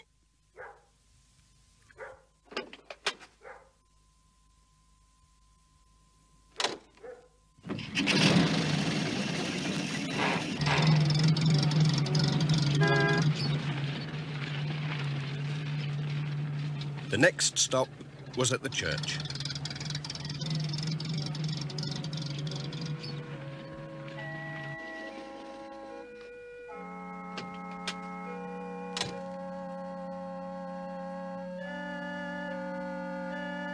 Hello, Pat. Isn't this fog ghastly? said the Reverend Timms. Don't know how you found your way. What a day for choir practice. But I expect Miss Hubbard will come. Nothing stops her. Thanks, Pat.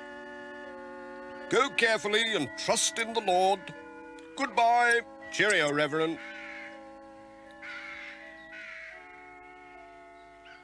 When Pat got back to his van, he saw that Jess had gone.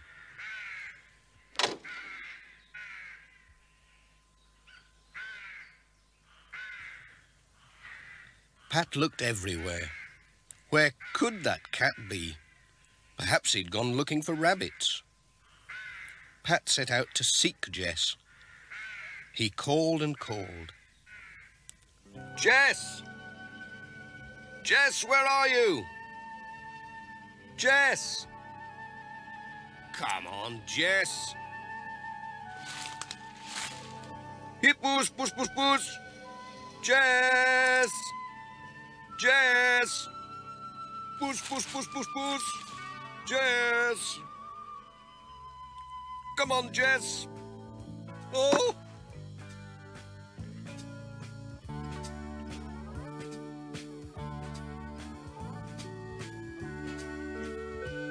Come on, Jess, this is no time for hide and seek.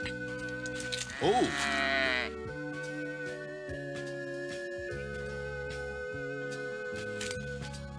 Puss, puss, puss, puss, puss. Oh, dear, dear, dear.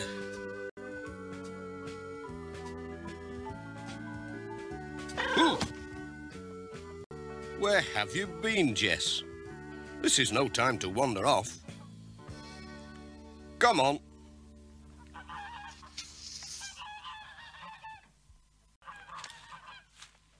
Pat was lost again. Now you've done it, Jess. We're really lost this time. Let's try this way. He couldn't even find the road, let alone his van.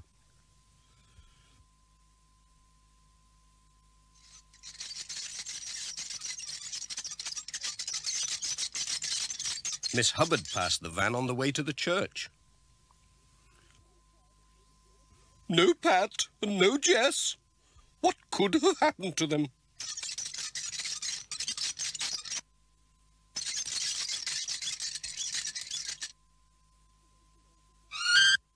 Hello, Vicar. Have you seen Pat? His van's in the road, but there's no sign of him or his cat. Oh, dear. Pat called quite some time ago. They must be lost in the fog. I know what we must do, said Miss Hubbard. We must ring the bells to guide them back to the church. Come along, Reverend. Pull.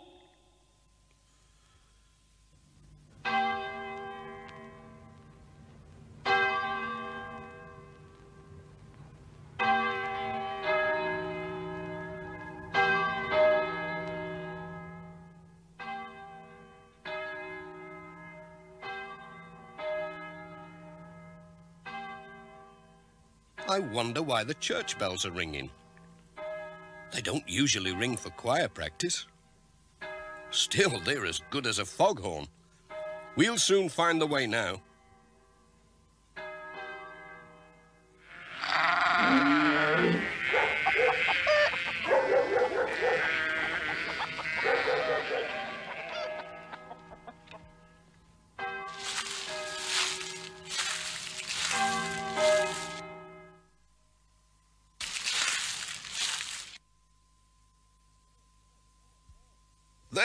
Now.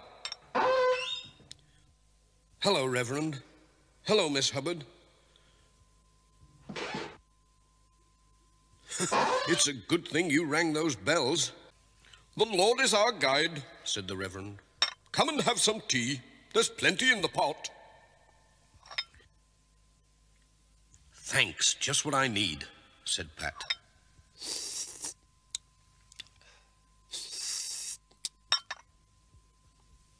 There was some milk for Jess. Look, said Miss Hubbard. It's much lighter outside. The sun was shining and a breeze had blown the fog away. Ah, that's much better, said Pat. Now I can get on with my letters. Come on, Jess.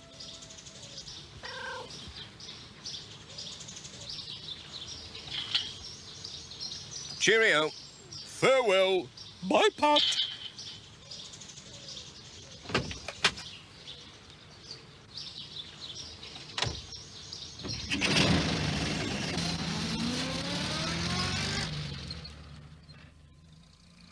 It was lovely driving along in the sunshine without getting lost. Look, Jess, that scarecrow's still waiting for a letter.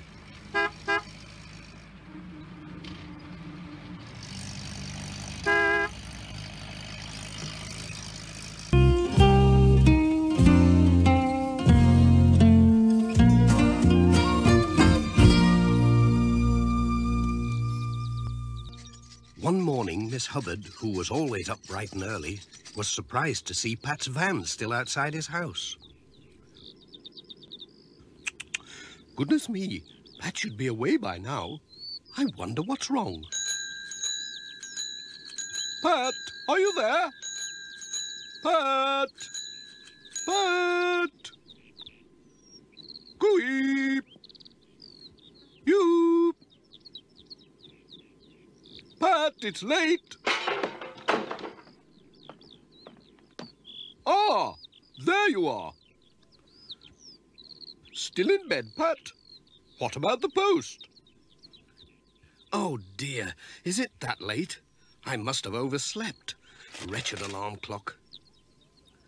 Morning, Pat. Must go or I'll be late as well. Pat rushed out without any breakfast. I'd better get my skates on. They'll all wonder where I've got to. Oh, no! My hat! Come on, Jess. Don't just sit there. Oh! What are you playing at, Jess? Do you think you're Postman Jess or something? Come on, let's get moving. What a start to the day. That alarm clock couldn't have gone off. We're over an hour late already.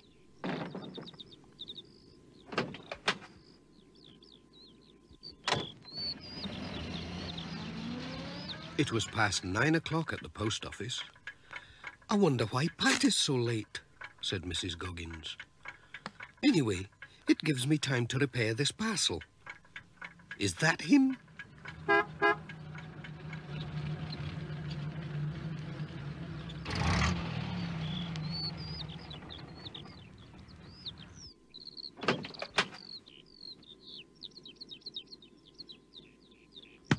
Oh, it's not my day today, is it?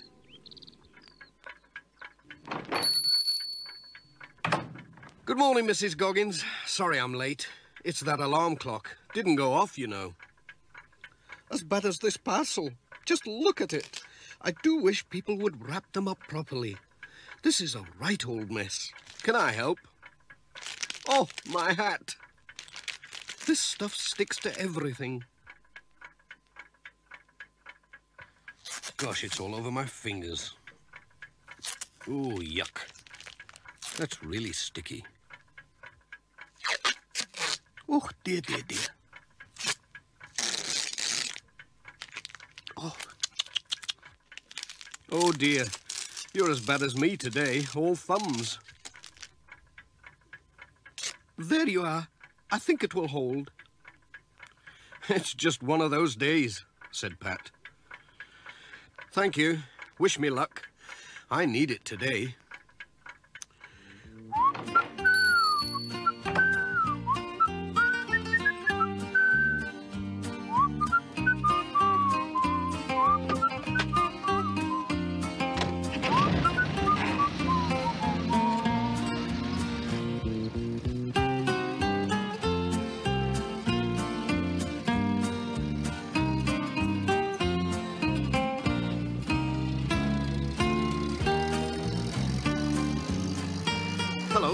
Ted. That messy parcel is for him. We'll give it to him before it falls to bits.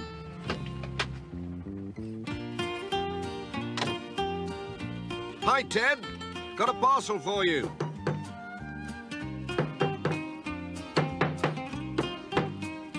Ted!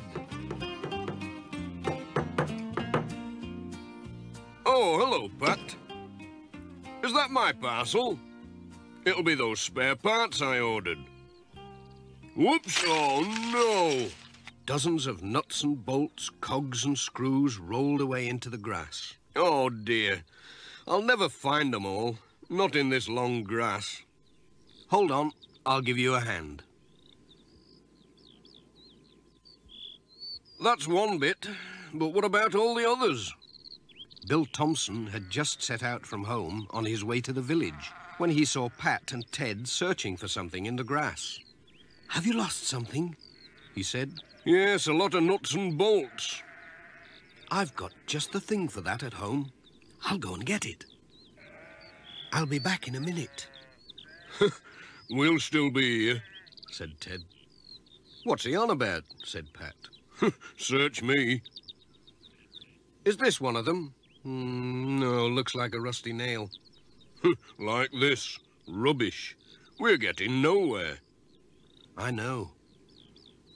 Look, the lad's back already. And he's got a magnet with him. Hope it's a good one or it won't be much use. Have you found much? said Bill. Well, no, not yet. This is really powerful. Picks up anything metal.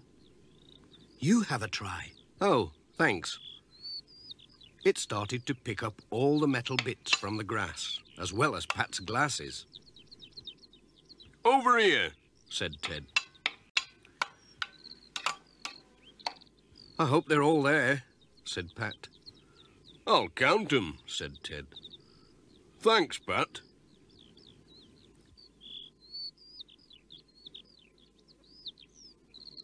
Cheerio.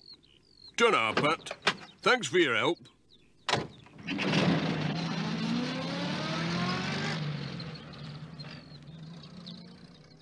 Here's another bit. Thanks, Bill.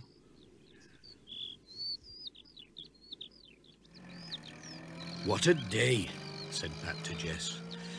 We'll never get through at this rate. His next stop was Thompson Ground. Alf was busy mending the barn wall.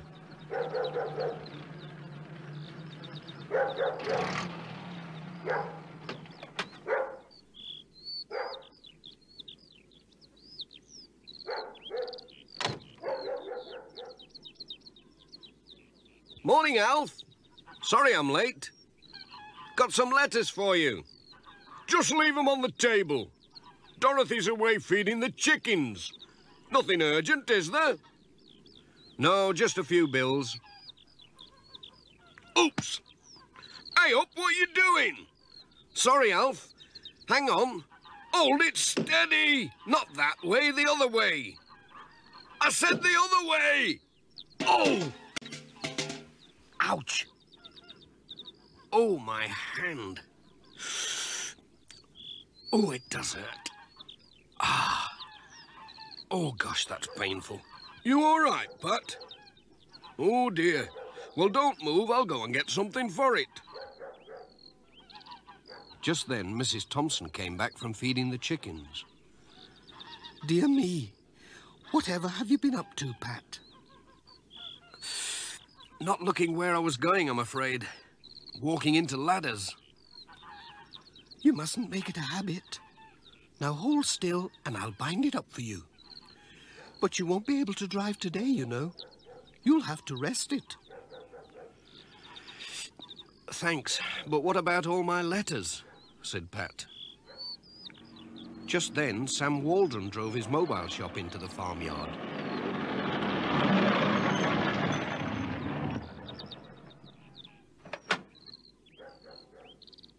He noticed Pat's bandaged hand. Hello, what happened to you? They told him about Pat's accident and that he was unable to drive. Why don't we put your letters and parcels in my van? said Sam. We can do our rounds together. Yes, and then the post will get through after all, said Pat. Thanks, Sam. That's a marvellous idea. Come on, Jess. You'll be all right in there.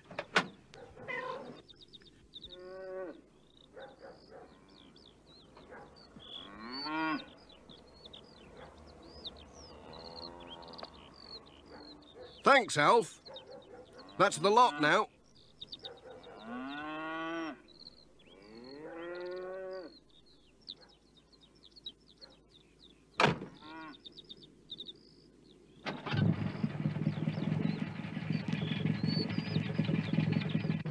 Bye.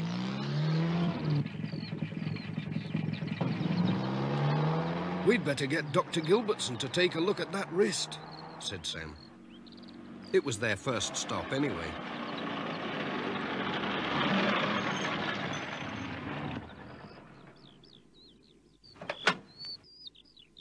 Won't be long.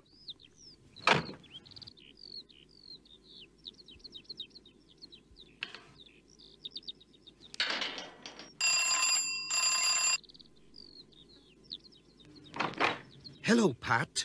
Goodness me, what have you been doing? It's my wrist. come on in. Let's have a look at it. Ouch! Is this where it hurts? Ouch! Ah, well, it's not broken. You'll be all right in a day or two. I'll just give you something to soothe it. You'll soon be able to drive. Oh, thanks, Doctor. Cheerio. Bye.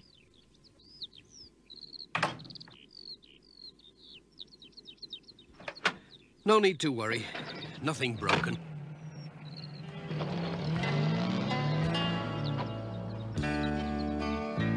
For twice a week there comes a mobile shop up to the valley.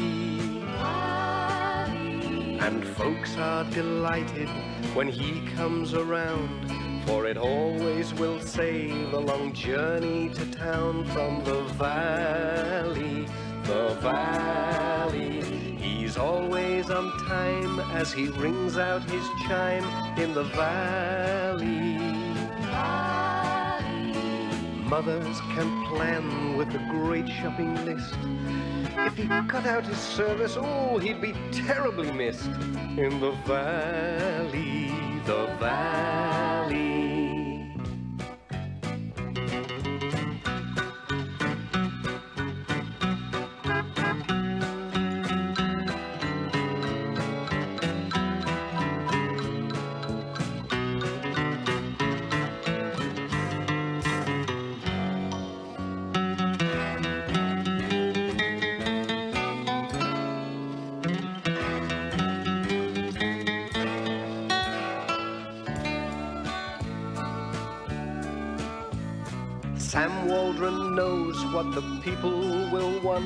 In the valley. He buys in the town, then he takes things around.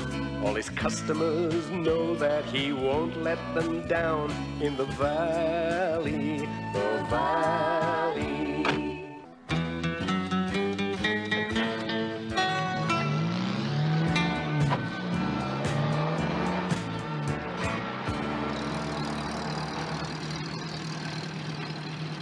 Thanks for the lift, Sam. It's been a funny old day. But tomorrow, well, tomorrow's another day. That's the stuff, Pat.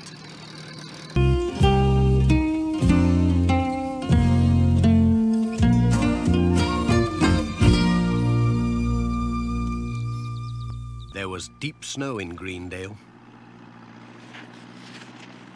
Peter Fogg was busy clearing the roads. Nobody could get about until he had shifted the snow. Postman Pat, and Sam Waldron, and Miss Hubbard followed in Peter's tracks.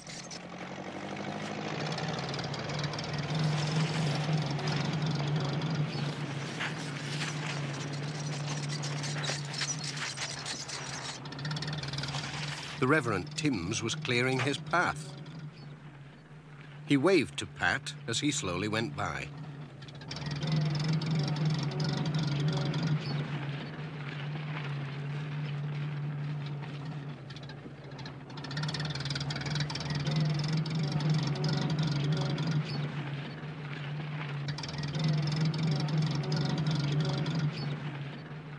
Keep my seat warm, Jess.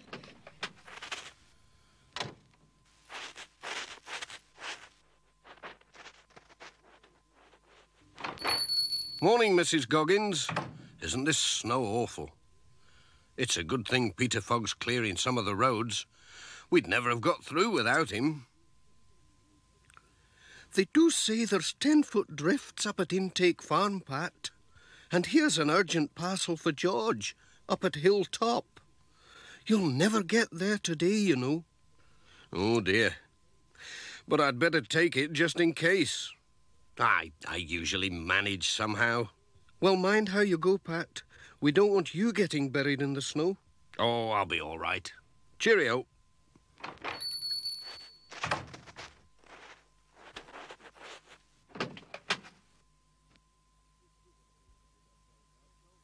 We can always dig ourselves out, can't we, Jess, if we get stuck? Pat was on his way. He had to drive carefully along the slippery roads.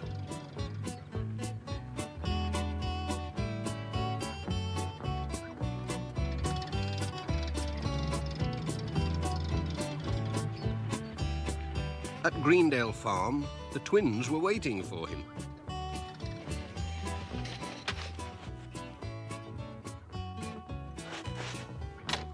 Oh! Who threw that? You little monkeys. Two can play at that game.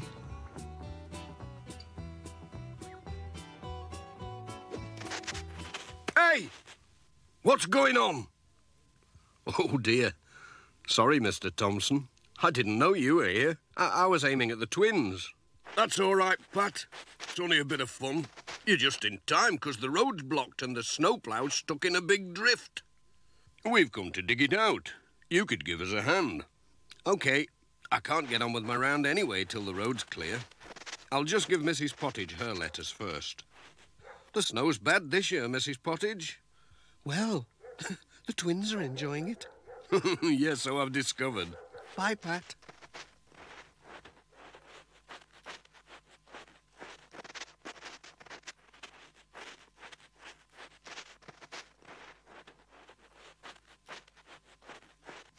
Peter Fogg was already digging when they got to the snowplough. Here we are, Ted. This is the spot. Whoops. Don't worry, Peter. We'll have you out in no time. Thank goodness for that. Phew, it's warm work, I can tell you. Come on, lads, put your backs into it.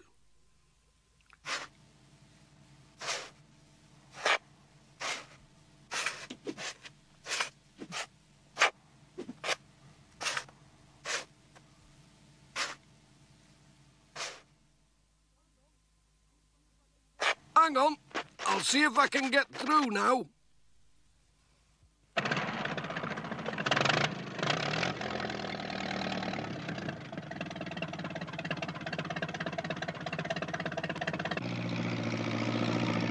He took a run at the snowdrift. Come on, Pete, you can do it.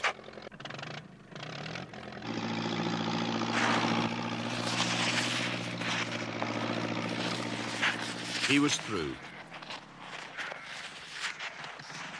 The twins had been busy.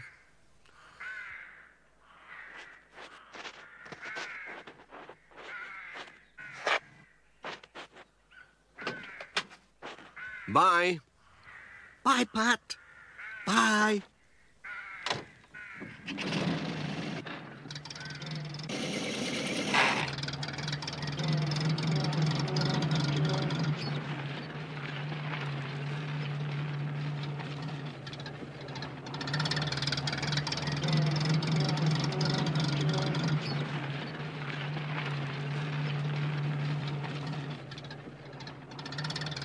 Pat stopped at the vicarage with a letter for the Reverend Timms.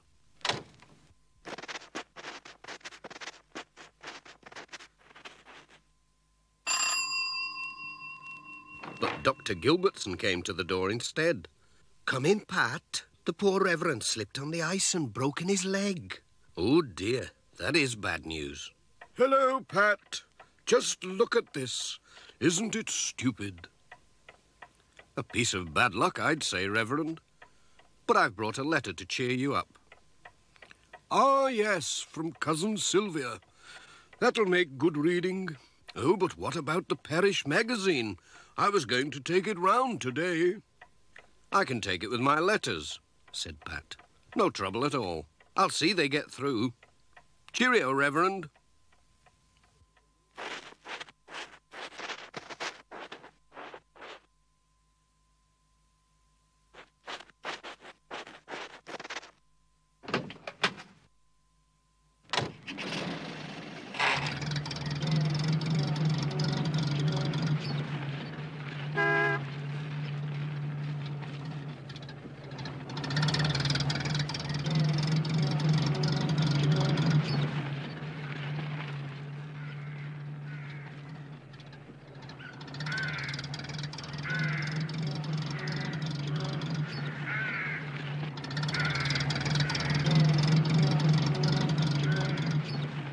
Thompson ground, Dorothy Thompson was out collecting the eggs.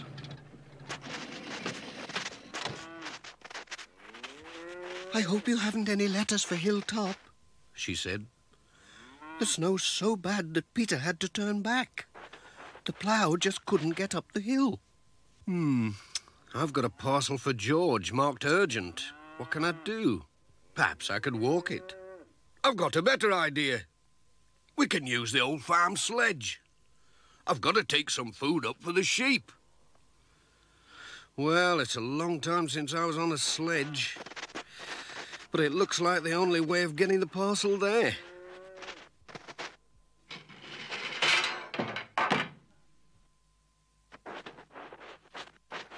Here we are, said Alf. You'd better take George some groceries, said Dorothy. He might be running short, being snowed up like this. They loaded up the sledge.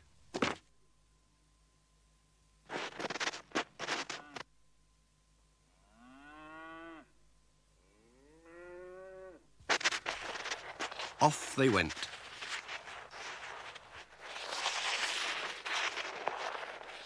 It was hard going uphill, but lovely downhill.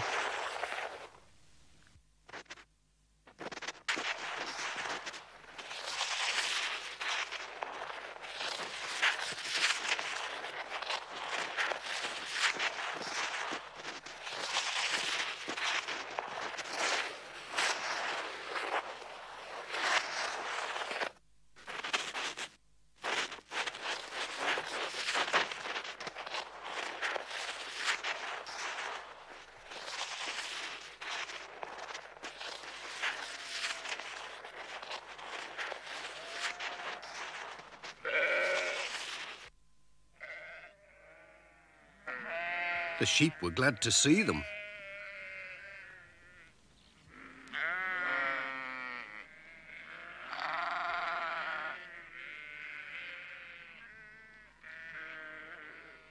Just look at that drift. George's house was nearly buried.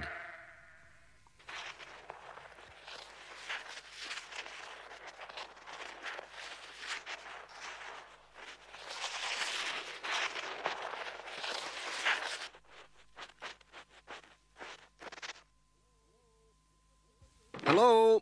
Anybody in? George was out. He'd gone to feed his sheep. So Pat left the food and the parcel on the table. We'll have a fast ride downhill, said Alf. Give us a push. Hold on. Here we go.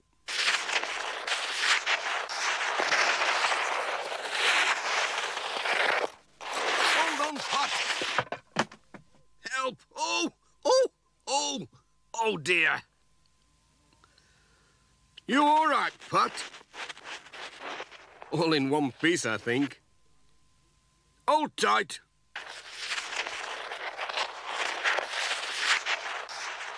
Hey! Mind that tree. Whoa! Ho, ho, ho,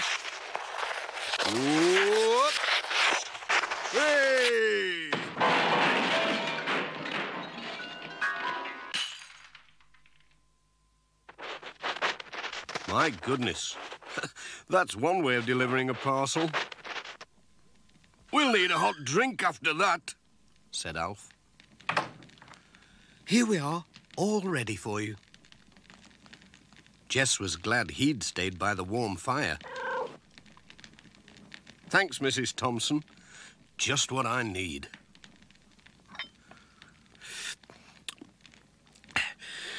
Aye, there's nought like a good cup of tea.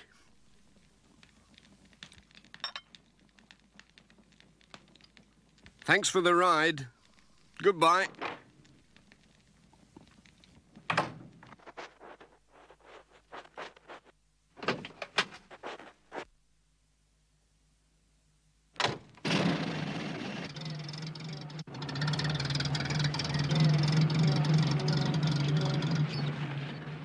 The rest of Pat's round was in the valley, and the roads had been cleared and gritted by now.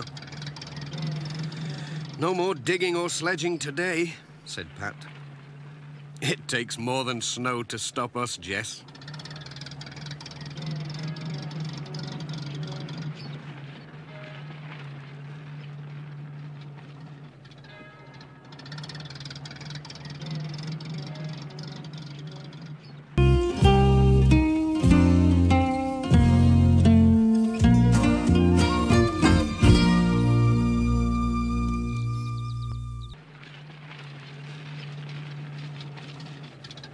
Postman Pat was out on his rounds as usual, but he had to go very carefully.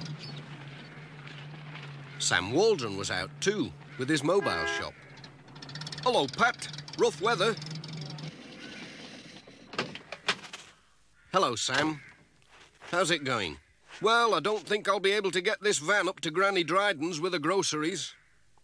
I'll take them with the letters, said Pat. Righto. Here they are. That'll keep her going for a while. Thanks, Pat. Mind how you go.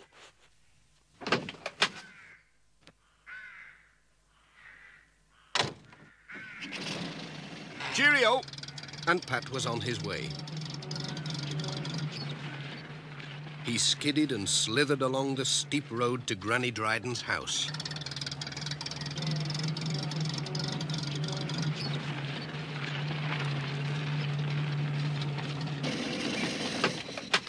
She was glad to see him, especially when she saw he had her groceries as well as a letter.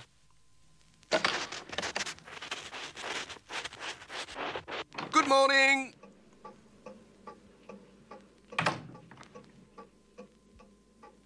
Oh, thank you, Pat. That's lovely. And that letter'll be from that lass of mine down in London. I can't find me reading glasses anywhere. Would you tell me what she says, Pat? Certainly. Now, let's see. She says, Dear Mum, just a line to let you know. Speak up, please, Pat. I can't hear you. We'll all be able to come up to Greendale to see you for your birthday. Jim started school this week, and Dad's bought a new car. All well and hoping you are too. All our love, Sally and family. Hey, that's good news. Thanks, Pat. Have a cup of tea. Thank you, Mrs. Dryden.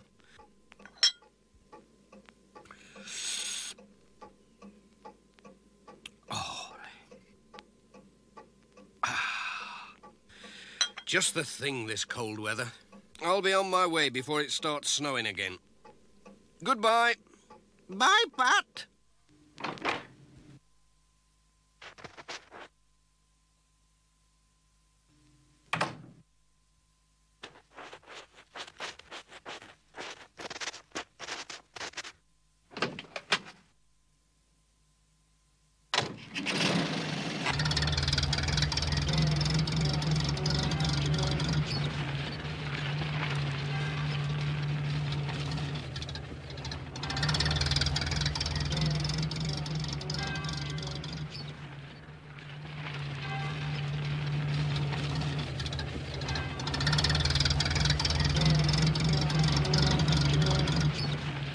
Pat's next stop was at Ted Glen's workshop.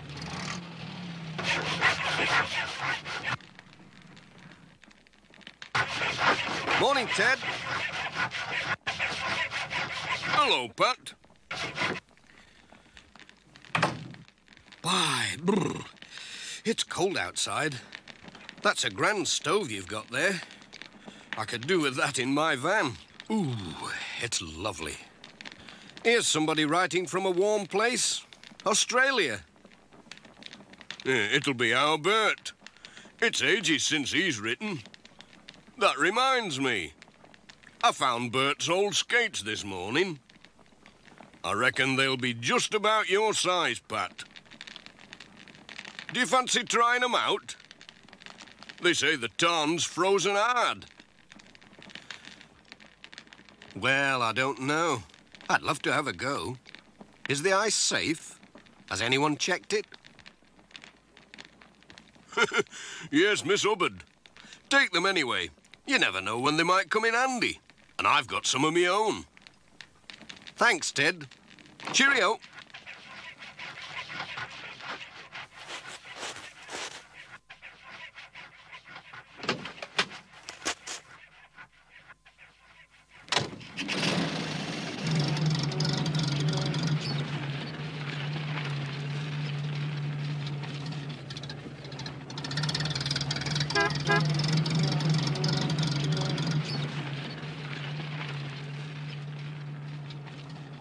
Wind was blowing the snow into deeper and deeper drifts. Soon, Pat had to stop. The road was blocked. He thought he would never get through with his letters now. Then he looked across to the tarn and saw someone skating on the ice. It's worth trying, Jess. I can take a short cut across the ice. Come on, Pat, it's lovely. You stay here, Jess, and mind the van. I'll just put these skates on.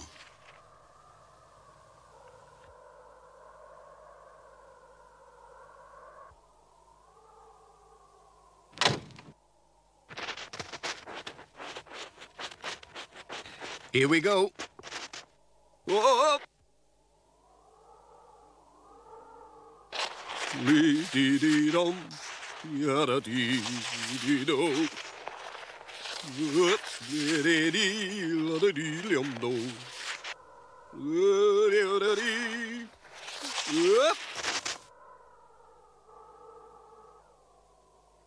Hello, Pat. Hello, Charlie. Special ice delivery today. Thank you. Good skating.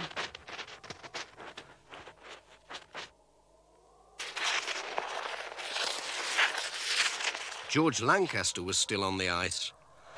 He did get a surprise when Pat whizzed by with a letter. Mrs. Thompson was out for a spin too. Ouch! Hello, Pat. What are you doing down there? Are you all right? Yes, I'm all right. Look at Jess.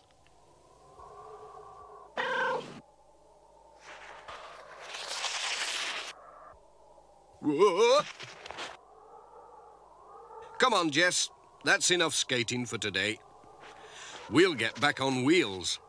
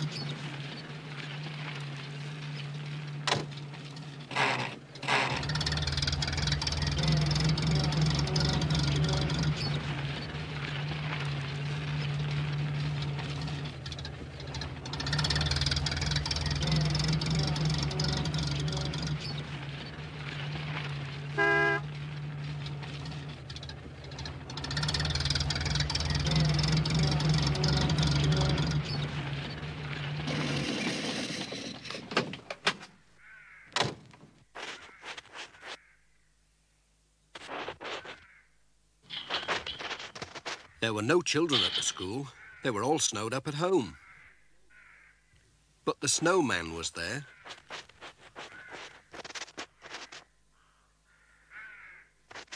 Pat had an envelope in his pocket, so he addressed it to the snowman. Mr. Snowman, The Drift, Greendale School, and tucked it under his arm. Hello, who's that? It was Miss Hubbard and Ted. Hello, Pat. Have you seen my bicycle? The snow must have buried it. We'll have to find it. You dig there, Ted.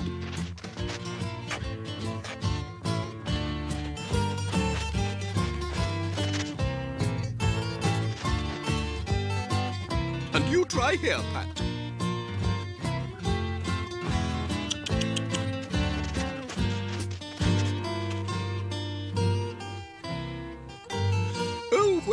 Can it be? Who left this gate open?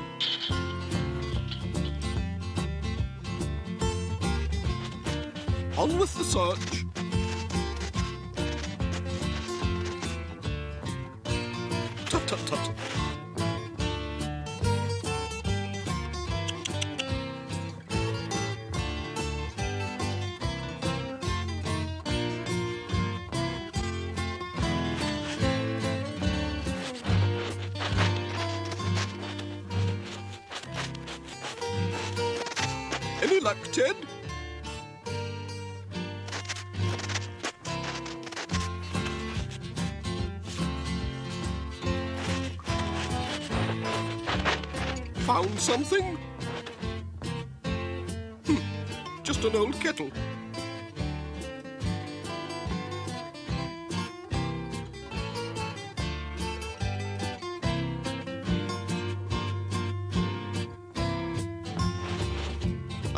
Here.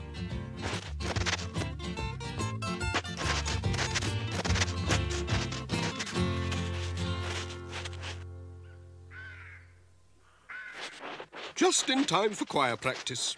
I'll be off now. I'll open the gate for you, Miss Hubbard. Thank you, Pat. Goodbye. Bye, Miss Hubbard. Nothing stops her, does it? See you in church on Sunday.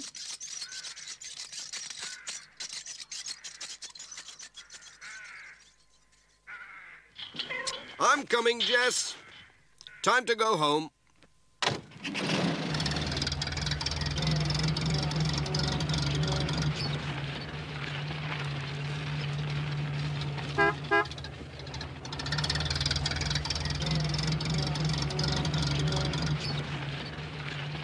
Cheer up, Jess. This snow can't last forever.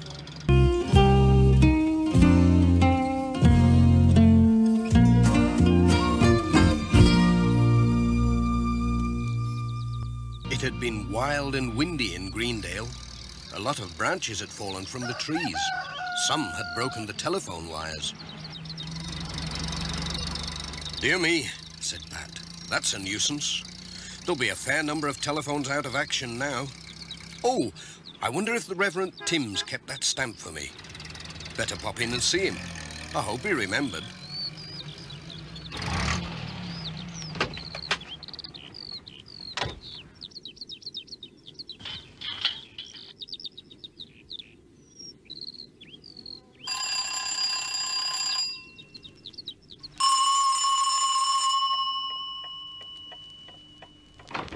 Hello, Reverend. I just popped in to see if you kept that Australian stamp yesterday. Of course, Pat. Just the thing for your collection. Waste not, want not. Thanks. But where are you off to, Reverend? London, to meet my sister Elsie. She's flying over from Australia. Haven't seen her for years. Here's that stamp. Thanks. Such a nuisance. I'll have to visit everyone to cancel church meetings while I'm away. Such a bother. With a train to catch, too. If only the phone was working. It's this wind we've been having. It's brought the wires down. Well, I'll just have to hurry. The train goes in an hour. Hope you get round in time, Reverend. Cheerio. Have a good trip.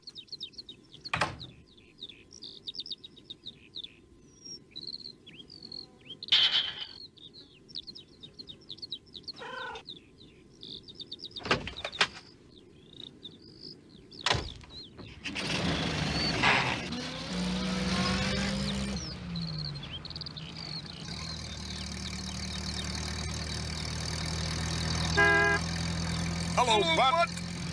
Pat called at the post office for the letters.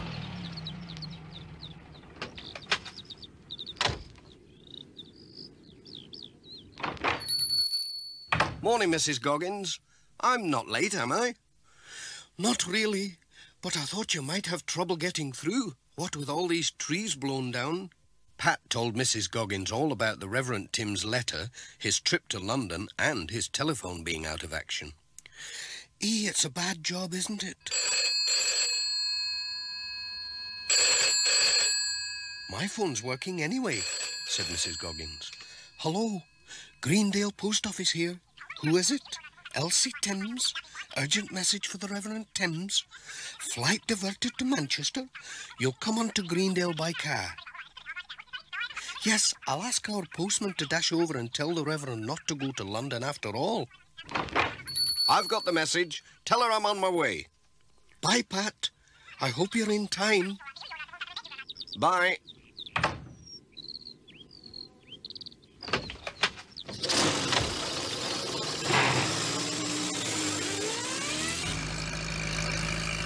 Hold tight, Jess. You're to see some pretty hot driving now.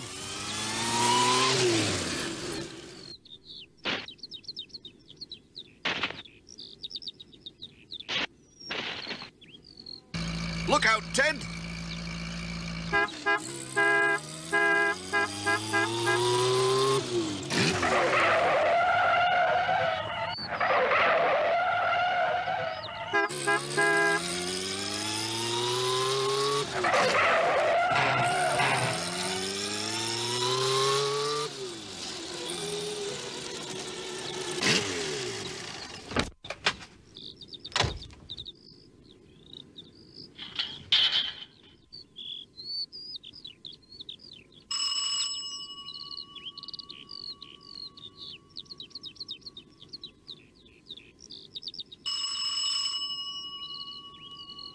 Looks as though the Reverend's gone.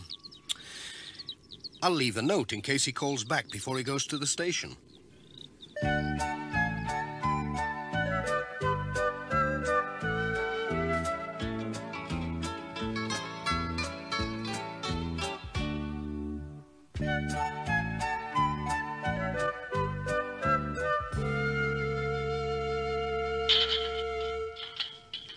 I might even catch up with him at Miss Hubbard's.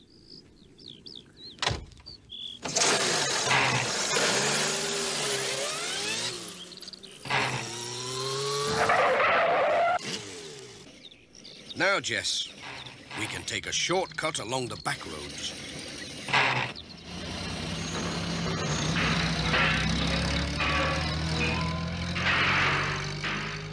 It was a bit rough. Oh, no! Now, who's left that there? We'll never get past it. There's only one thing for it now. Come on, Jess. We'll have to walk it.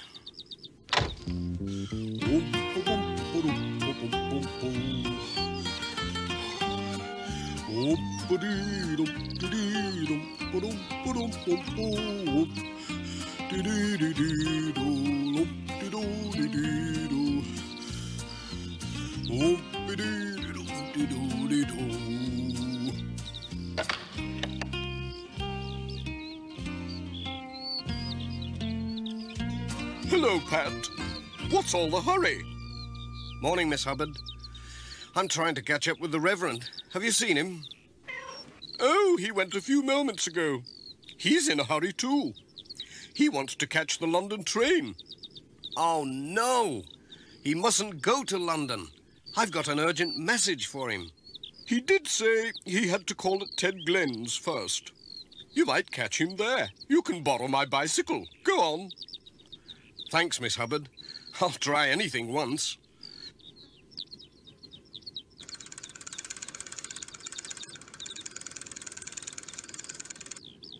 Come on, Jess. Hold tight.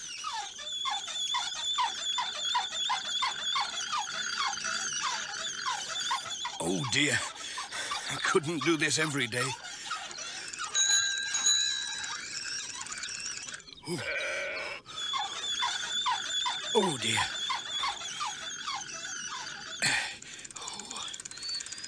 Oh, I'll be glad when this is over.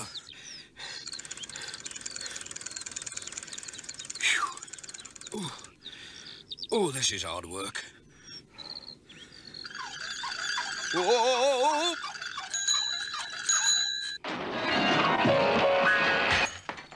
Hello, Pat. Whatever are you doing? You all right? I'm trying to catch up with the Reverend. Oh, you're too late. The Reverend's gone. Uh, but he said he'd call on Granny Dryden before he catches his train. Oh, no. Just look at that front wheel. It looks very peculiar. Leave it to me. I'll fettle it. You can borrow these roller skates. I've just mended them. You'll fairly move when you've got these on. Well, I said I'd try anything, and I must catch the Reverend before he catches his train.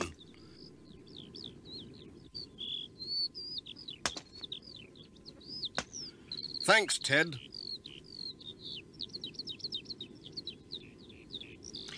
Here we go again. Oh, oops! You're doing fine, Pat.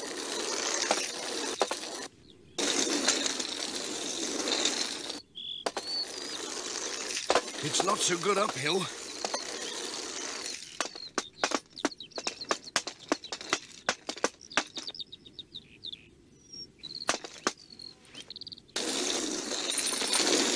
How do you stop? Whoa! Whoa! Hey! Whoa!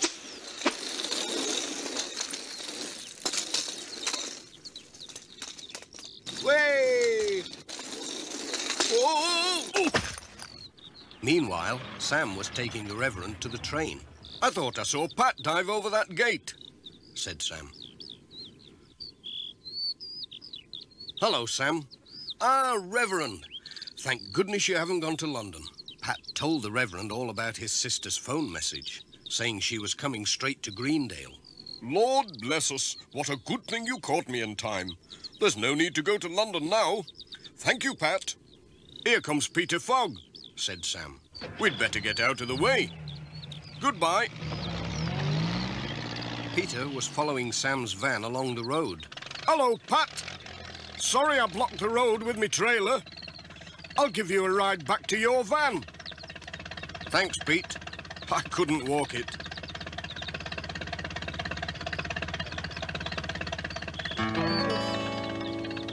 Here's the little story of a very special cat who's the friend and good companion of a certain postman. Pat.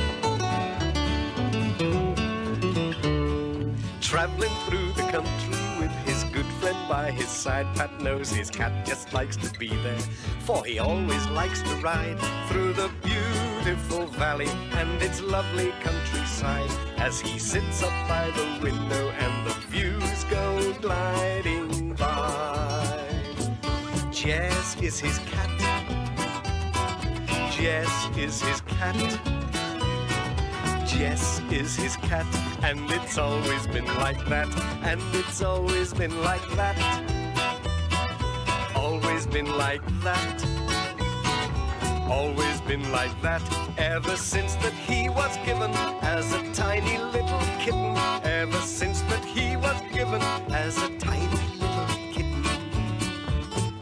All the folks in Greendale like to wave or stop to chat, for they always like to see Pat as he goes by with his cat through the beautiful valley and its lovely countryside as he sits up by the window and the views go gliding by. Jess is his cat. Jess is his cat. Jess is his cat, and it's always been like that, and it's always been like that.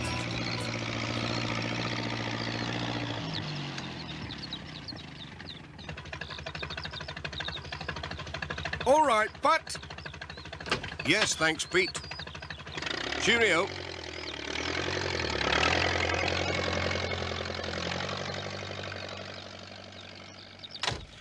Now, where did I put my pen? I must have left it at the vicarage.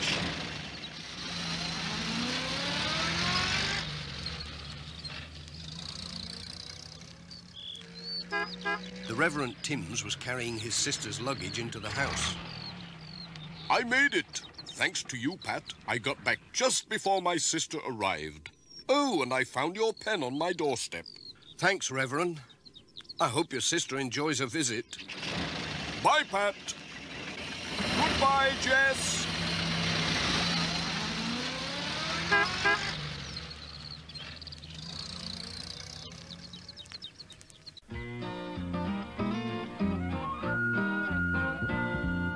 Postman Pat, Postman Pat, Postman Pat and his black and white cat. Boom, boom, boom, boom, boom, boom, dum, dum,